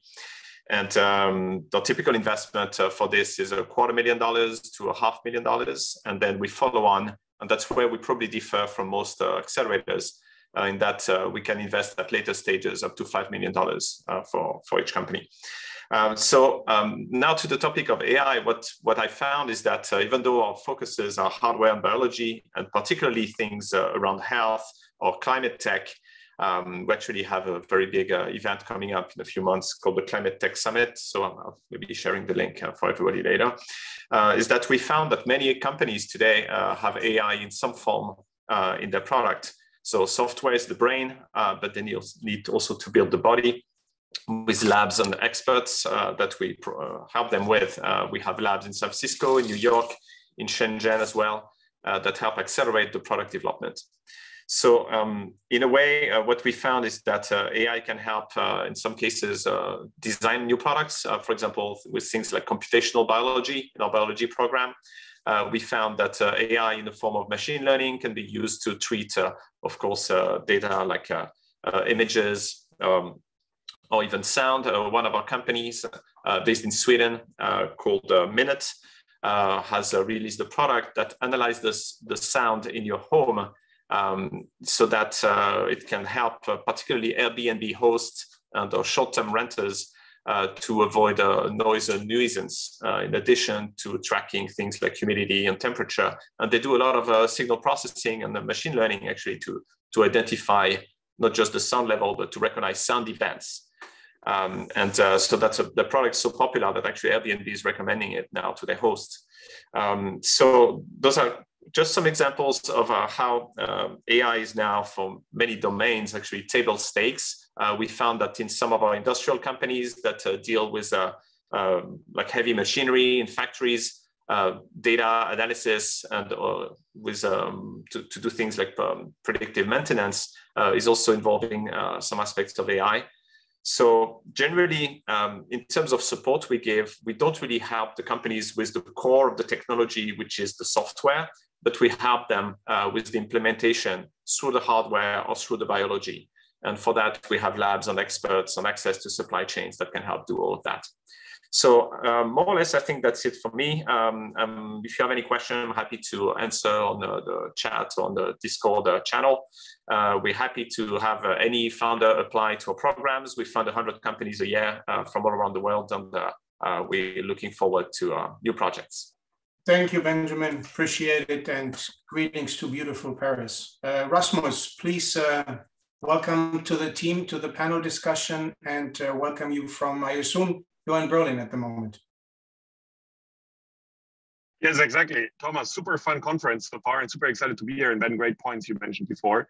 I'm Rasmus. I'm one of the co-founders of Merantix. We're a venture studio building AI first companies. So we actually work with founders, ideate with them, and then when we have enough conviction, spin off a company and put up to around 3 million euros behind the company. We've started six companies so far in very different industries. And so as we also plan to start even more companies in the upcoming years, um, it's always very important for us to look out for new trends around AI spaces we are excited about. And I wanted to share some of them with you. So on the technological side, there's actually three things we're very excited about. So the first one is building more companies around natural language processing. Um, I mean, just thinking about like how much time humans spend on writing and reading text, you know, it's it's immense, and so there's a lot of potential for automation uh, there, and we will see the next wave of companies there. Um, secondly, um, generative models. So we've seen a lot of AI models that are very good at understanding data, but we see, see more and more models that are also actually good at generating uh, data, whether it's video, text, but also could also be biological data. Um, and then multimodality is another area we're very excited about. That's the third one. So um, as humans, we are also looking not just you know at, at, images or we're sensing stuff or we're smelling stuff. We, we look do all of that at the same time, and we will see a similar trend around AI models that will basically take in different data sources and thus can do much better predictions. Now, from an industrial, from an industry perspective, we're still very excited about pharma, healthcare, and biotech. We've started already two companies there. We want to do more there. The intersection, and that's similar to what also Ben said, of these sciences and, and healthcare more broadly uh, with, with machine learning data is there's still so much to do. Um, we're also very excited about manufacturing, anything shop floor related, you know, whether it's robotics, predictive maintenance, quality control, operational efficiency, using AI on the shop floor. Uh, and then lastly, um, the whole space of cybersecurity, also from a European angle, um, there's you know big demand for cyber experts. So there's a lot of big potential for automation also, um, and need also, um, um, but also obviously uh, as attacks become more complex, you know, if you think about the human vector, um, there's more potential for, for, for, for using AI there. Structurally, um, we, we see a big trend around sustainability, both making AI models more sustainable, but also um, using AI to make the world more sustainable and, and fighting some of the challenges. Um, we, we monitor the EU regulation quite closely. Um, and then I think one area where we see quite some bottlenecks is on the hardware side as models become larger. So with the German AI Association really pushing large European AI models, the LEAM initiative, uh, to make sure we have, uh, yeah, also larger hardware here in Europe. Now, as, a studio, last year we had around a thousand founders applying uh, to found a company with us, uh, and we work only with a few. So um, there's quite some process. We work with the founders. Generally, we look at two things. So on the founder side, um, like the most important question is really, um, do we believe um, can this person attract like, the best talent in the world? Uh, would I work for this person myself? Um, and does the person deeply care about the problem we want to solve? Because um, you know the, the, journey, as we heard earlier, is very hard as a founder. There's a lot of ups and downs. So only if you really care about the problem, um, you will you will push through and go all the way. And then lastly, we want to see a found an idea fit, just also because uh, otherwise, for some of these domains, it's just very hard. Um, and then on the idea, oh, I think we look mostly at two time horizons. On the one hand, uh, we look at it very short term, like what is the go to market, what is the customer, uh, what is the initial customer, what is the exact pain point. So really having our founders spend time out in the market and, and really evaluating that and, and being very, very close to the real problem. And if there's no pain point, then there's also uh, no company. And the other part is kind of looking very much at the long-term vision. Is there like a long-term trend? Uh, long is the market long-term? Is it very big? Um, and this is something we fundamentally think is true um, and will also not change as we go on the journey? And so, yeah, if you're interested in, in AI um, and venture studios in, in, Berlin, feel free to reach out to me uh, after this. I'm super excited for the next talks. Thank you very much, Thomas. Thank you. Thank you, both of you, for uh, good feedback. Now let's move to the next panel. Um, and obviously, particularly from a Europe perspective, in my opinion, privacy and ethics, uh, particularly around AI, is a very, very important topic that needs to be discussed. Um, it, it, there's concerns there, no doubt about it, but it also obviously creates opportunities for startup companies um, to you know build the solution if the problem has been identified, which what a lot of people here have already uh, talked about. So with that in mind, I would like to introduce Olaf Groth. He is the CEO of Cambrian Futures. He's also uh, lecturing at the uh, Hult International Business School, as well as the University of uh, Berkeley Haas. And I also like to introduce Manuela Mackert. Uh, she's in Germany. Uh, Olaf is here in Berkeley in the Bay Area. And Manuela is the former Chief Compliance Officer of Deutsche Telekom to talk about the privacy and ethical topics. Olaf, please take it from here.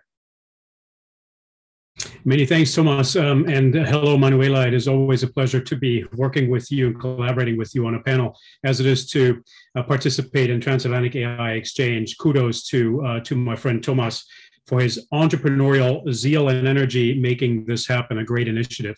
Uh, look, I think we've gotten a lot of, of, really good impulses here over the course of this morning or evening, I should say, in Europe uh, greetings to Europe uh, already, uh, and uh, and one thing is is becoming very clear, at least over the last hour that I was able to attend, and that is entrepreneurs in the cognitive era, as we say, the era in which we use AI to automate cognitive processes, um, are change agents for society. They're very, very important for society, for upgrading society, every society. And as such, they deserve our support. Uh, and at the same time, We've also gotten, uh, I think, uh, good indications here, especially on the last two panels, when we're going into the human, whether it's in, in, in, in pharma or bio, we heard human vector, we heard cyber, um, then of course we, we realize very quickly uh, and you know, Salesforce, incidentally, is the glorious example of this. That in all these spaces, uh, economics uh, and ethics are tied by the hip, right?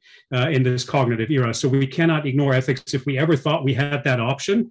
And, you know, I'm embarrassed to say that in too many areas around the economy, we thought we had that option for way too long. Uh, that has gone away with artificial intelligence, and we have to confront this head on. So I'm very glad to be taking this entrepreneurially focused but governance centric conversation uh, with Manuela forward with that, Manuela, why don't you open us up? I know you're going to take a macro level down, and I will dock to that on the back end and close us out.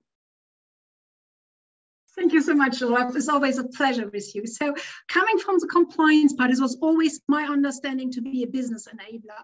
And that means I have to anticipate risk from a holistic uh, perspective. And that means I have to anticipate trends. I have to see business opportunities. I have to understand the business and to create value from my function as well. And so coming from the holistic perspective, it is starting with geopolitics world leaders are facing a new great uh, power competition. This is the ability to use new technologies, unlock new economic potential, manipulate social media, and threaten national security interests. So it is about competing for data and technology on one hand side, and for sure that means power and control. And the focus is formulating and implementing AI policies that provide an economic and security advantage. So AI information flows will potentially drive the greatest regulations as these information flows determine what citizens know or perceive about their own countries and events there, and that what they know and understand about global events. And so accurate information is critical to government decision and policies. So the government, and you see it, what is coming out, the rules from China and other countries which are now having their own policies and even cities, governments striving to build appropriate digital infrastructure, collect and control digital data. And for sure, the society is watching this. And that means there is a growing public criticism of technologies that collect data for commercial purposes, public surveillance, and security. And so there is, and I influence as well the uh, EU regulation with the things I had already implemented within Deutsche Telekom universe. So there is a European uh, maxim, level playing field for all who wants to do business with data in Europe. And so AI is about to become the central processing engine for all data. And the key element for the ambitious European data strategy is the AI regulation. And so this is a systematic promotion of value-based technology with a risk-based approach. And so it is about a new value-orientated risk management tool where we have a desire to have a specific risk classification to determine appropriate regulatory measures and now, and this is my evaluation, evolution, uh, uh, evolution sorry, evaluation is for a deployment of a general abstract regulatory framework, it is still too early. This, what we now have in place as a draft, does not fit and could not transfer into the universe of different kind of sizes of companies. So what is my plea? Confident in the digital future. And I'm absolutely convinced, and that is what I already established in, in Germany, is about an AI ethics ecosystem about different actors, e.g. public authorities, legislator, industry, research, NGO, bringing them together. And a different kind of bundles of measures is required. But firstly, and this is very crucial, we have to have a definition and delimitation of technology. Then responsibility needs transparency about the modes of operation and possible consequences of AI deployments. So the interoperability and the necessary high quality of data must be ensured. And so the regulation is now more focusing on the risk assessment and diverse uh, um, uh, control points. So um, the risk assessment now is about transparency on one hand side, system related, and on the other hand side, on application related risk. And that is what I established as well with Deutsche Telekom Group it is ethic by design. This is a set up as a mandatory factor from the beginning of the development process and implemented in, in existing procedures. You don't have the time and you don't have the money as a normal company to have extra bodies or extra procedures. So implement it in what you find in your company. And this is an important issue is the data quality. We label this as design by value. This is the most crucial part as well, because often you don't know which kind of sources do you have and what is the quality about the data in the end. And as well, and this is new, and I, I guess it is what you really need for the future, that is always technology impact assessment regarding the use of the respective AI system. And for sure, it is the introduction of specific certification and standardization. One base for sustainable economic research and development is also a central component of the value chain. And the fundamental question in AI research, such as comprehensibility, explainability, robustness, and security, have not been clarified yet and require a further research efforts better exploit the full, full potential of AI.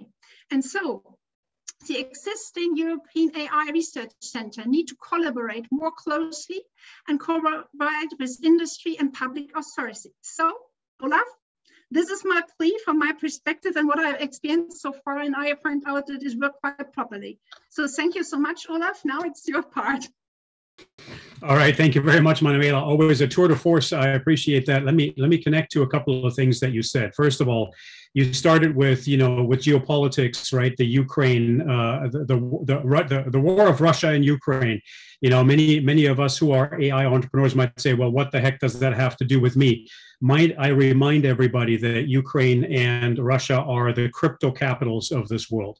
What's going to happen with crypto, what's going to happen with the AI solutions that entrepreneurs like we put in place to enable that. Um, you know, what is going to happen with uh, with uh, various digital actors using AI to cancel out Mr. Putin, for instance.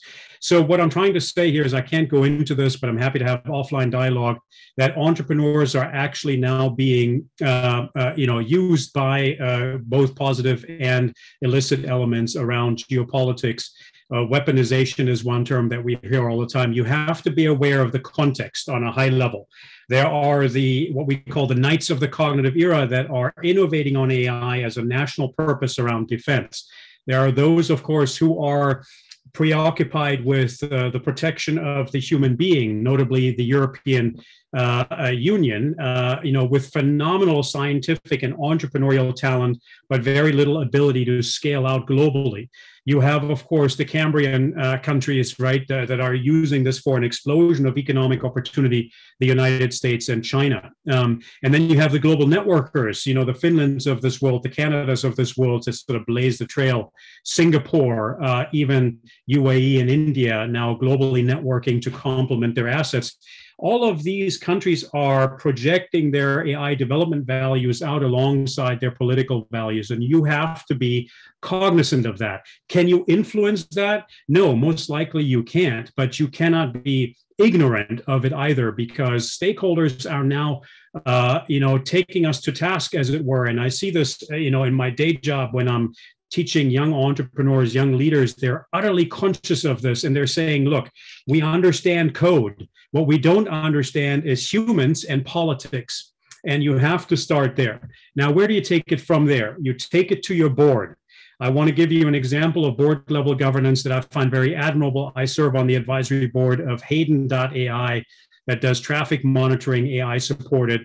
The entrepreneur, Chris Carson, uh, put an advisory board together, advising him on ethics, on safeguarding human centricity, uh, very much in line with what other companies, notably also Salesforce, are doing. Then you have to do social impact assessment with every solution you propose. Here again, Salesforce, glorious example. Kathy Baxter, what a fantastic job she is doing. If anybody wants to get a great job on ethical architecting, you know, that's a glorious role model right there. And she teaches us that we don't have to slow entrepreneurs down. We don't actually have to slow solutions time to market down. We get that that is really important. And so you, she said, if you involve us early and if you involve stakeholders early in things like co creative design, get feedback early, these stakeholders will be more collaborative, co creative, and can help you de risk the product development process.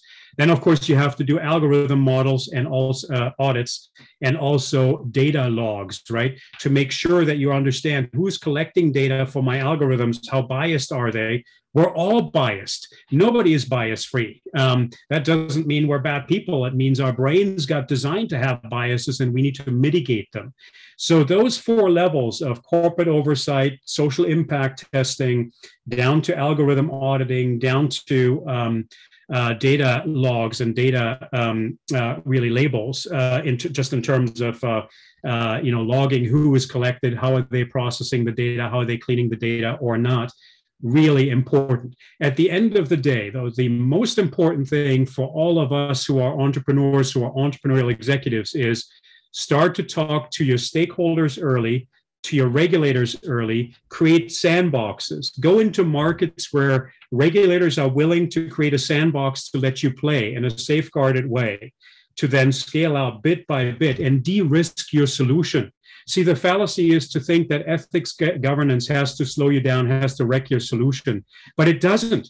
It can make you faster uh, because you don't have the backlash to contend with either from a heavy handed regulator or from the public and social media. So to play with regulators and stakeholders in sandbox is really important. Another global uh, and glorious example here is, of course, Rwanda with their drone uh, regulation, facilitated by the World Economic Forum, experimentation on the ground, cutting edge regulation around a pilot case. See, a lot of times when we have pilot cases, the highfalutin principle conversations that we have on a global level they go away uh, the conflicts go away because people see the solution as it is on the ground can actually be risk mitigated fairly easily, right? So that's what it all boils down to. Mind the four levels, keep an eye on the context, but experiment on the ground because that's where the rubber hits the road. So with that, I'm going to close out here. I know we're a little behind time anyway. Thank you so much, Manuela, for teeing us up. And uh, I suppose back over to you, Thomas. Excellent. Thank you, Manuela, and thank you, Olaf. Um, it's yet another example that the topic in itself is incredibly important and needs to be discussed further in much more depth. It is important for the overall AI ecosystem, so I will definitely invite you and other people who have similar ideas and value to share to create another independent type session around this topic to really have a deep dive conversation about, about all of this. Now, with that in mind, yes, it is correct. We are running only five to 10 minutes behind, probably 10 minutes. I can only assure everybody, please stay with us. Um, spend the additional 10 minutes with the next panel. We have five experienced entrepreneurial startup uh, CEOs participating in the conversation, moderated by Ragnar Kruse. Ragnar is the founding partner and managing director of the AI Fund, and co-founder of AI Hamburg and AI Invest. In addition to that, Ragnar Kruse and also my dear friend Peter Vorsteher are both my partner in crimes of bringing you all the transatlantic AI exchange to you virtually um, every single month. So with that, Ragnar, take it from here, please. Thanks, Thomas. And also thanks, Olaf. I could continue listen to you for the next half an hour for sure. So um, very happy to moderate this session. I'm Ragnar Kruse. Um, Thomas already made the introduction, partner of, uh, at AI Fund, a venture fund investing in European AI companies, co-founder of AI Hamburg, Transatlantic AI Exchange, AI for Germany, and least not last, the AI Startup Hub in, in Hamburg. Yeah, so a lot around AI startups. AI startups are, are the speedboats for innovation to make our world better. So therefore, let's collaborate, let's work together, join the transatlantic AI exchange. Yeah, so uh, let's, uh, and so now let's hear some of those founders of AI startups from Europe about their learnings, AI use cases and opportunities and what they have to say. So therefore, I would uh, moved to our first one. Uh, George, George, please, you have the stage. Thank you, Ragnar. So I'm, I'm George Frangou. I'm Massive Analytics founder and group CEO. And this evening, I'm going to give a brief talk on explainable AI and why it's absolutely necessary for value creation, and not just in the latest uh, line of AI sound bites. So AI has become something of a buzzword in the last decade. You know, many claim to be creating it, many want it for themselves or their business. Some even fear it.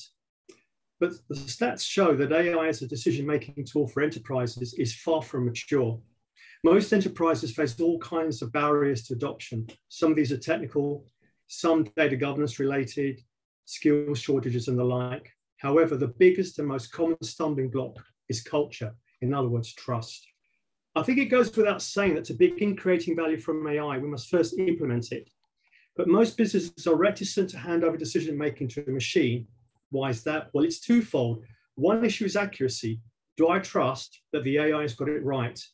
Will it get it right repeatedly? Not just to create value, but to prevent losing value. Secondly, how can I know if the AI has got it right without taking the plunge when the processes the AI uses to make predictions and make decisions aren't easily understood. AI should be about de-risking decision making, helping you make the right decision at the right time. But a black box, an unexplainable AI does the complete opposite. It introduces risk into the business and the minds of decision makers. This risk is being held accountable for decisions that aren't adequately understood, or worse, making a wrong decision. Yet businesses can't afford to sit on the fence about AI in today's digital world, or their competitors who use AI to make data-driven decisions will overtake them.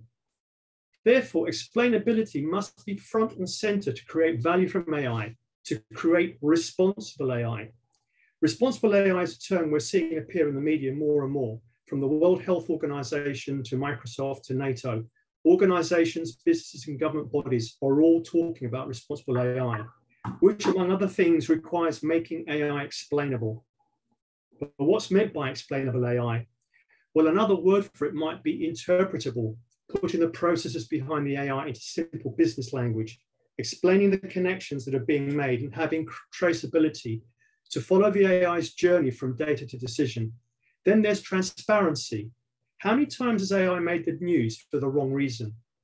You could detect bias and protect against techniques that might have misinterpreted the data before entering circulation with transparency. Remember, the AI must be accurate to create value.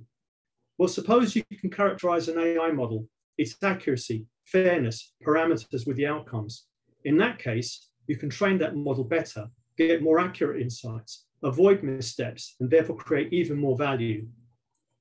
Beyond just trust, we're moving towards regulations being put in place to govern the development of AI for the first time. The EU's AI Act looms large here. Explainability in AI will soon become fundamental if you want to use AI at all, whether you're a vendor or a consumer. Making your AI traceable, transparent, and therefore explainable opens the door for broader adoption of AI, for more buy-in from stakeholders, and ultimately more value creation. The actual value of AI isn't just in the insights it reveals, but in how those insights are automated. But unless that AI complies with regulations, is without bias, is trusted enough to embed into our businesses, well, we'll never see the full reward and full value creation will be left unrealized. Thank you. Thank you, George. Explainable AI. Now, without further ado, I would like to introduce you to Raluca. Raluca, stage is yours. Hi, thank you so much for, for having me here. Um, yeah, I'm the CTO of Etiq, um, and I'll just kind of explain a little bit more about what we do at Etiq. And you know, for us, in a nutshell, we help you build robust machine learning systems. You know, it's systems like George was describing that, you know, you can trust, you know, that make you money, but also not detrimental to like a portion of society. And, you know, we've all heard the issues uh, that occur when companies do not really test these systems properly. Like people like, you know, Amazon's AI recruitment tool got pulled out because it was very biased and didn't let any female applicants through. The Apple card uh, credit scoring system. It was investigated for gender discrimination. Zillow's home flipping algorithm. That was a major cause, uh, you know, in, in losing Zillow about $500 million, you know, 25% of their whole business. You know, these are tech giants, and even they, having huge resources and large teams, you know, they're struggling. But everyone, literally everyone who builds in this space, from very large companies to very small companies, is facing the same risks and really need to kind of address them head on. So at Etiq, we kind of try to help people address them, and especially small companies, uh, because you know for them it's even tougher. Now we're a team of data scientists and engineers, and we have more than 10 years of experience in the sector, and we're building the tools that we wish we had when we were kind of building our project before Etiq. And you know, it's unfortunate staying in machine learning uh, world where it says, you know, people say, let's put it in production and kind of see what happens. And what we say is, please don't, you know, don't, don't just put in production see what happens. you know, probably nothing good will happen as a result of that.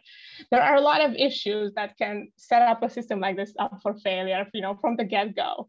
And a lot of these issues can actually be prevented and you know finding and fixing these issues earlier on means the model will perform better you know you won't have to waste time debugging, debugging a live system and your overall risk will be reduced and you know our our own approach and you know our tools are a lot about helping the people that build these systems helping data scientists helping them the ml engineers and the ml teams um, you know, test their systems more properly and have the testing in place from build, like, you know, as soon as, you know, like the data stage through to build and through to production. Because, you know, you have, you can have a lot of issues, you know, from leakage accuracy, unintended bias, and then you move on to drift, robustness, explainability, like George was mentioning. So all of these issues need to be tested and tested thoroughly and tested as, as, as, as many stages as applicable in the process.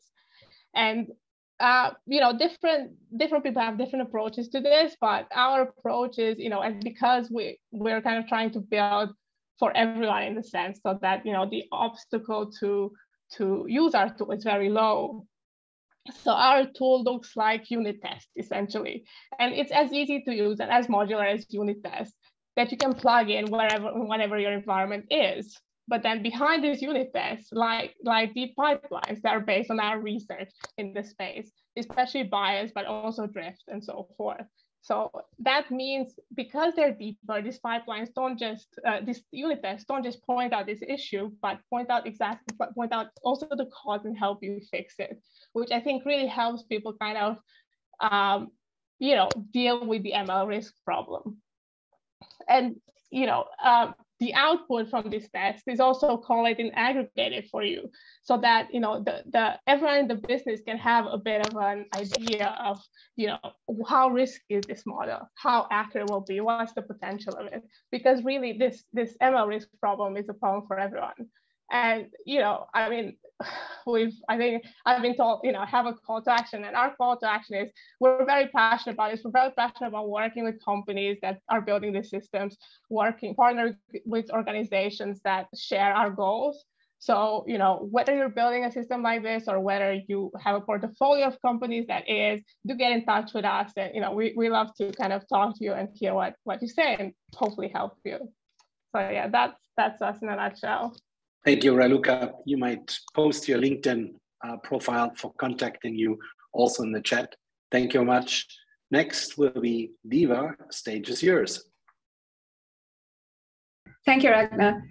I'm Deva, so I'm the co-founder of Sonrai Analytics. We are a digital data analytics company um, within healthcare. And today for my message, I wanted to keep it really simple.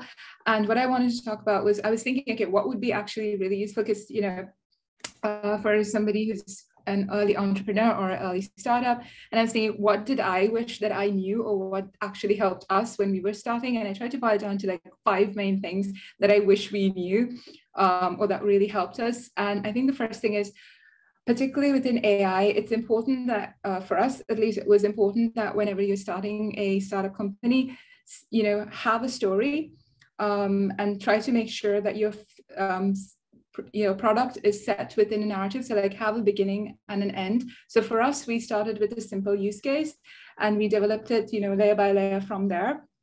And i think that really helps uh, particularly whenever you're trying to make a pitch and you know you're trying to get vcs and such interested as well. Um, and then the next thing is, um, which also linked to that, is that don't try to be a, you know, don't try to create a like a Swiss Army knife situation where you have all these different branches. It's really easy to do that, I think, in AI because whenever we're building models, they are data agnostic, um, and also they're really easy to build into different areas and fields. So you do get tempted to do this, and while that's brilliant if you're a mature company or you know you have a bit more staff and a bit more resources I think at the start, if you try to go down the route of you're going to build all these different branches and come up with all these lots of different ideas, it is going to be tougher, um, particularly when you're trying to convince VCs. Um, and um, again, that is not to say you should ever stop research and development. It's just that you should try to focus on the main area, the main branch, and perfect that before you try to bring into production any other branch, uh, branches or ideas you have. And the next thing for me was point three is um, it is a marathon and it's not a sprint. So any kind of, I think, startup, at least for us, what I needed to uh, have to learn was because this was my first time doing this, was that you know you might have one good day but that means you're probably going to have two bad days at the start straight after. So if you're not ready for that if you don't you know mentally prepare yourself for that you and your team is going to burn out really quickly. So it's very important i think to um, you know like enjoy the the the smaller victories that you get because if you try to keep like waiting for the bigger victories which is what something i did because i was like no no i need this to be perfect you know i'll wait for the next the next. But it's there's never a next. It's always like you know there's always the bigger goal that you need to achieve. So you know just pace yourself for us was really important. And the next thing i think uh, george already mentioned this you know there's the big hype when it comes to ai at the minute. Um, so I think you need to be a bit careful because like, so for example, with us in Sonrai, we use both, uh, so we use AI, but we also have, uh, you know, general statistical pipelines that we use whenever we're analyzing our data as well. So we're very careful where we embed AI within our product, um, because I think it is important to understand, um, because like, you know, just like what Raluca said, with AI, you know, you have the factors where you have to make it explainable. You have to make it ethical. So there are other things that you need to think about. So if you try to embed ai for the sake of embedding ai and you know to make it sound cool to your customers or your vcs you are going to end up in a bit of a model so it's important to make sure that within your product you identify where you need it and for what customers you need to use ai um, and go with that. And then the final point i would say um, is that you shouldn't be afraid of criticism. And especially, I think it's important that you should not try to take any criticism that you get um, personally, especially if you're a founder or if you're the person who developed your product, it's very easy um, whenever you get, you know, you get the no from a VC or your customers and like, you know, getting the product, like they're not quite happy. It's very easy to feel like personally offended. At least I did feel like that at the start. But the thing is, you need to make sure that you don't take it personally. Uh, and it's a really good thing. You want them to tell you what's wrong or you want them to tell you what they're actually thinking and it really helps for you to um, develop your models and make sure that um, you know you're doing a better job. But yeah so i wanted to keep it like really simple uh, but yeah that's that's um, that's my piece. Hi Deva. thank you very much. Thanks for advice and never give up. Finally i would like to give the word to vladislav. The stage is yours. Yeah so um, on the topic of uh, value creation ai um, I can share an example uh, from the autonomous driving industry, uh, which of course has the potential to uh, create tremendous value uh, in, in uh, multiple trillion dollar markets. To give you some context, um, I've been working in computer vision AI for almost 17 years now, um, since the early days of the DARPA Grand Challenges. Um, back then, some of the bottlenecks to autonomous driving, such as computer vision, seemed uh, roughly insurmountable. Um, but with the advent of deep learning, it became possible to make a great deal of progress towards solving computer vision. Um, however, um, technological progress um, has been overestimated at certain junctures in the development uh, of the autonomous driving space. Um, you know, in particular, there was a lot of hype um, in 2016, which culminated in the acquisition of um, Cruise by GM that year. And uh, as an you know if you were an outsider looking in it looked like the space was kind of getting saturated. Um, but it was actually uh, one of the best times to create a lot of value in the space via new approaches. Um, in particular um, it, it, was clear that um, you know regardless of how many resources applied um, using existing ai techniques at the time it would not result in a fully self-driving car.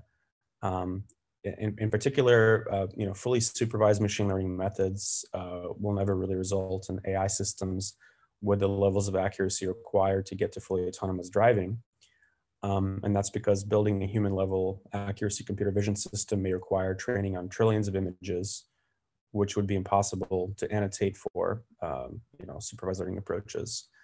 So it was clear really to anyone with sufficient technical depth in AI that a scalable self-driving deployment would not occur on the several year timeline that, you know, the timelines that were kind of publicly being discussed in 2016. Um, and this is in part what motivated me and my co-founder um, to start Helm.ai because it was clear to us that we could create a lot of value in the space by innovating in the field of unsupervised machine learning. Um, several years into the journey, um, we have created a new type of unsupervised learning called deep teaching, which combines sophisticated mathematical modeling with deep learning to train neural networks on large data sets without requiring human annotation. Um, typical unsupervised learning uses naive mathematical models, uh, which results in learning systems that learn at a much slower rate uh, than supervised methods, um, resulting in either inadequate results or systems that are too expensive to scale in of themselves. Um, deep teaching, in contrast, uh, leverages sophisticated mathematical models and methods of compressive sensing to create learning pipelines with a, with a, rate of learning that's on par with supervised learning systems, but without requiring the huge costs of annotation associated with, with a supervised learning.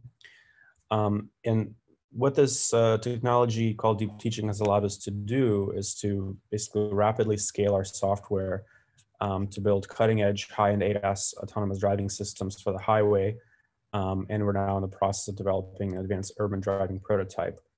Um, and all these autonomous driving systems primarily use computer vision um, without requiring LiDAR sensors or HD maps.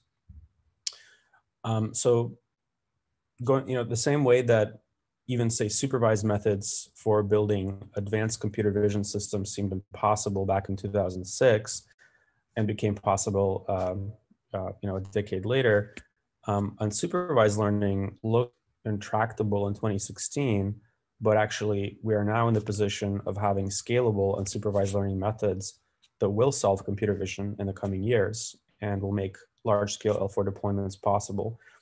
Um, and so the punchline here is that, uh, you know, choosing the right approach and timeline to scale that approach is critical um, you know, while dramatically scaling an autonomous driving company in 2016 uh, seemed pretty fruitless to us uh, because the technology simply wasn't there yet. Um, and indeed, you know, most companies that you know tried the blitz scaling approach in 2016 did not actually survive. Um, you know, it is now 2022, and it's absolutely the right time to scale uh, up autonomous driving efforts toward ad volume deployments because this better approach to L4 technology is now maturing.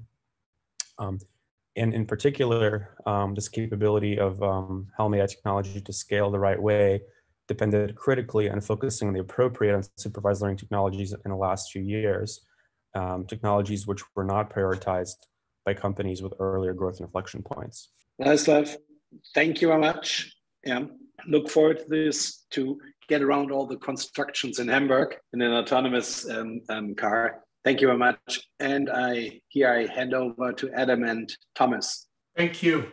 Thank you very much. I know we were a little bit over time, but I would say um, thank you very much to all speakers, getting 24 individuals who are busy with their own calendars and, and running their own businesses.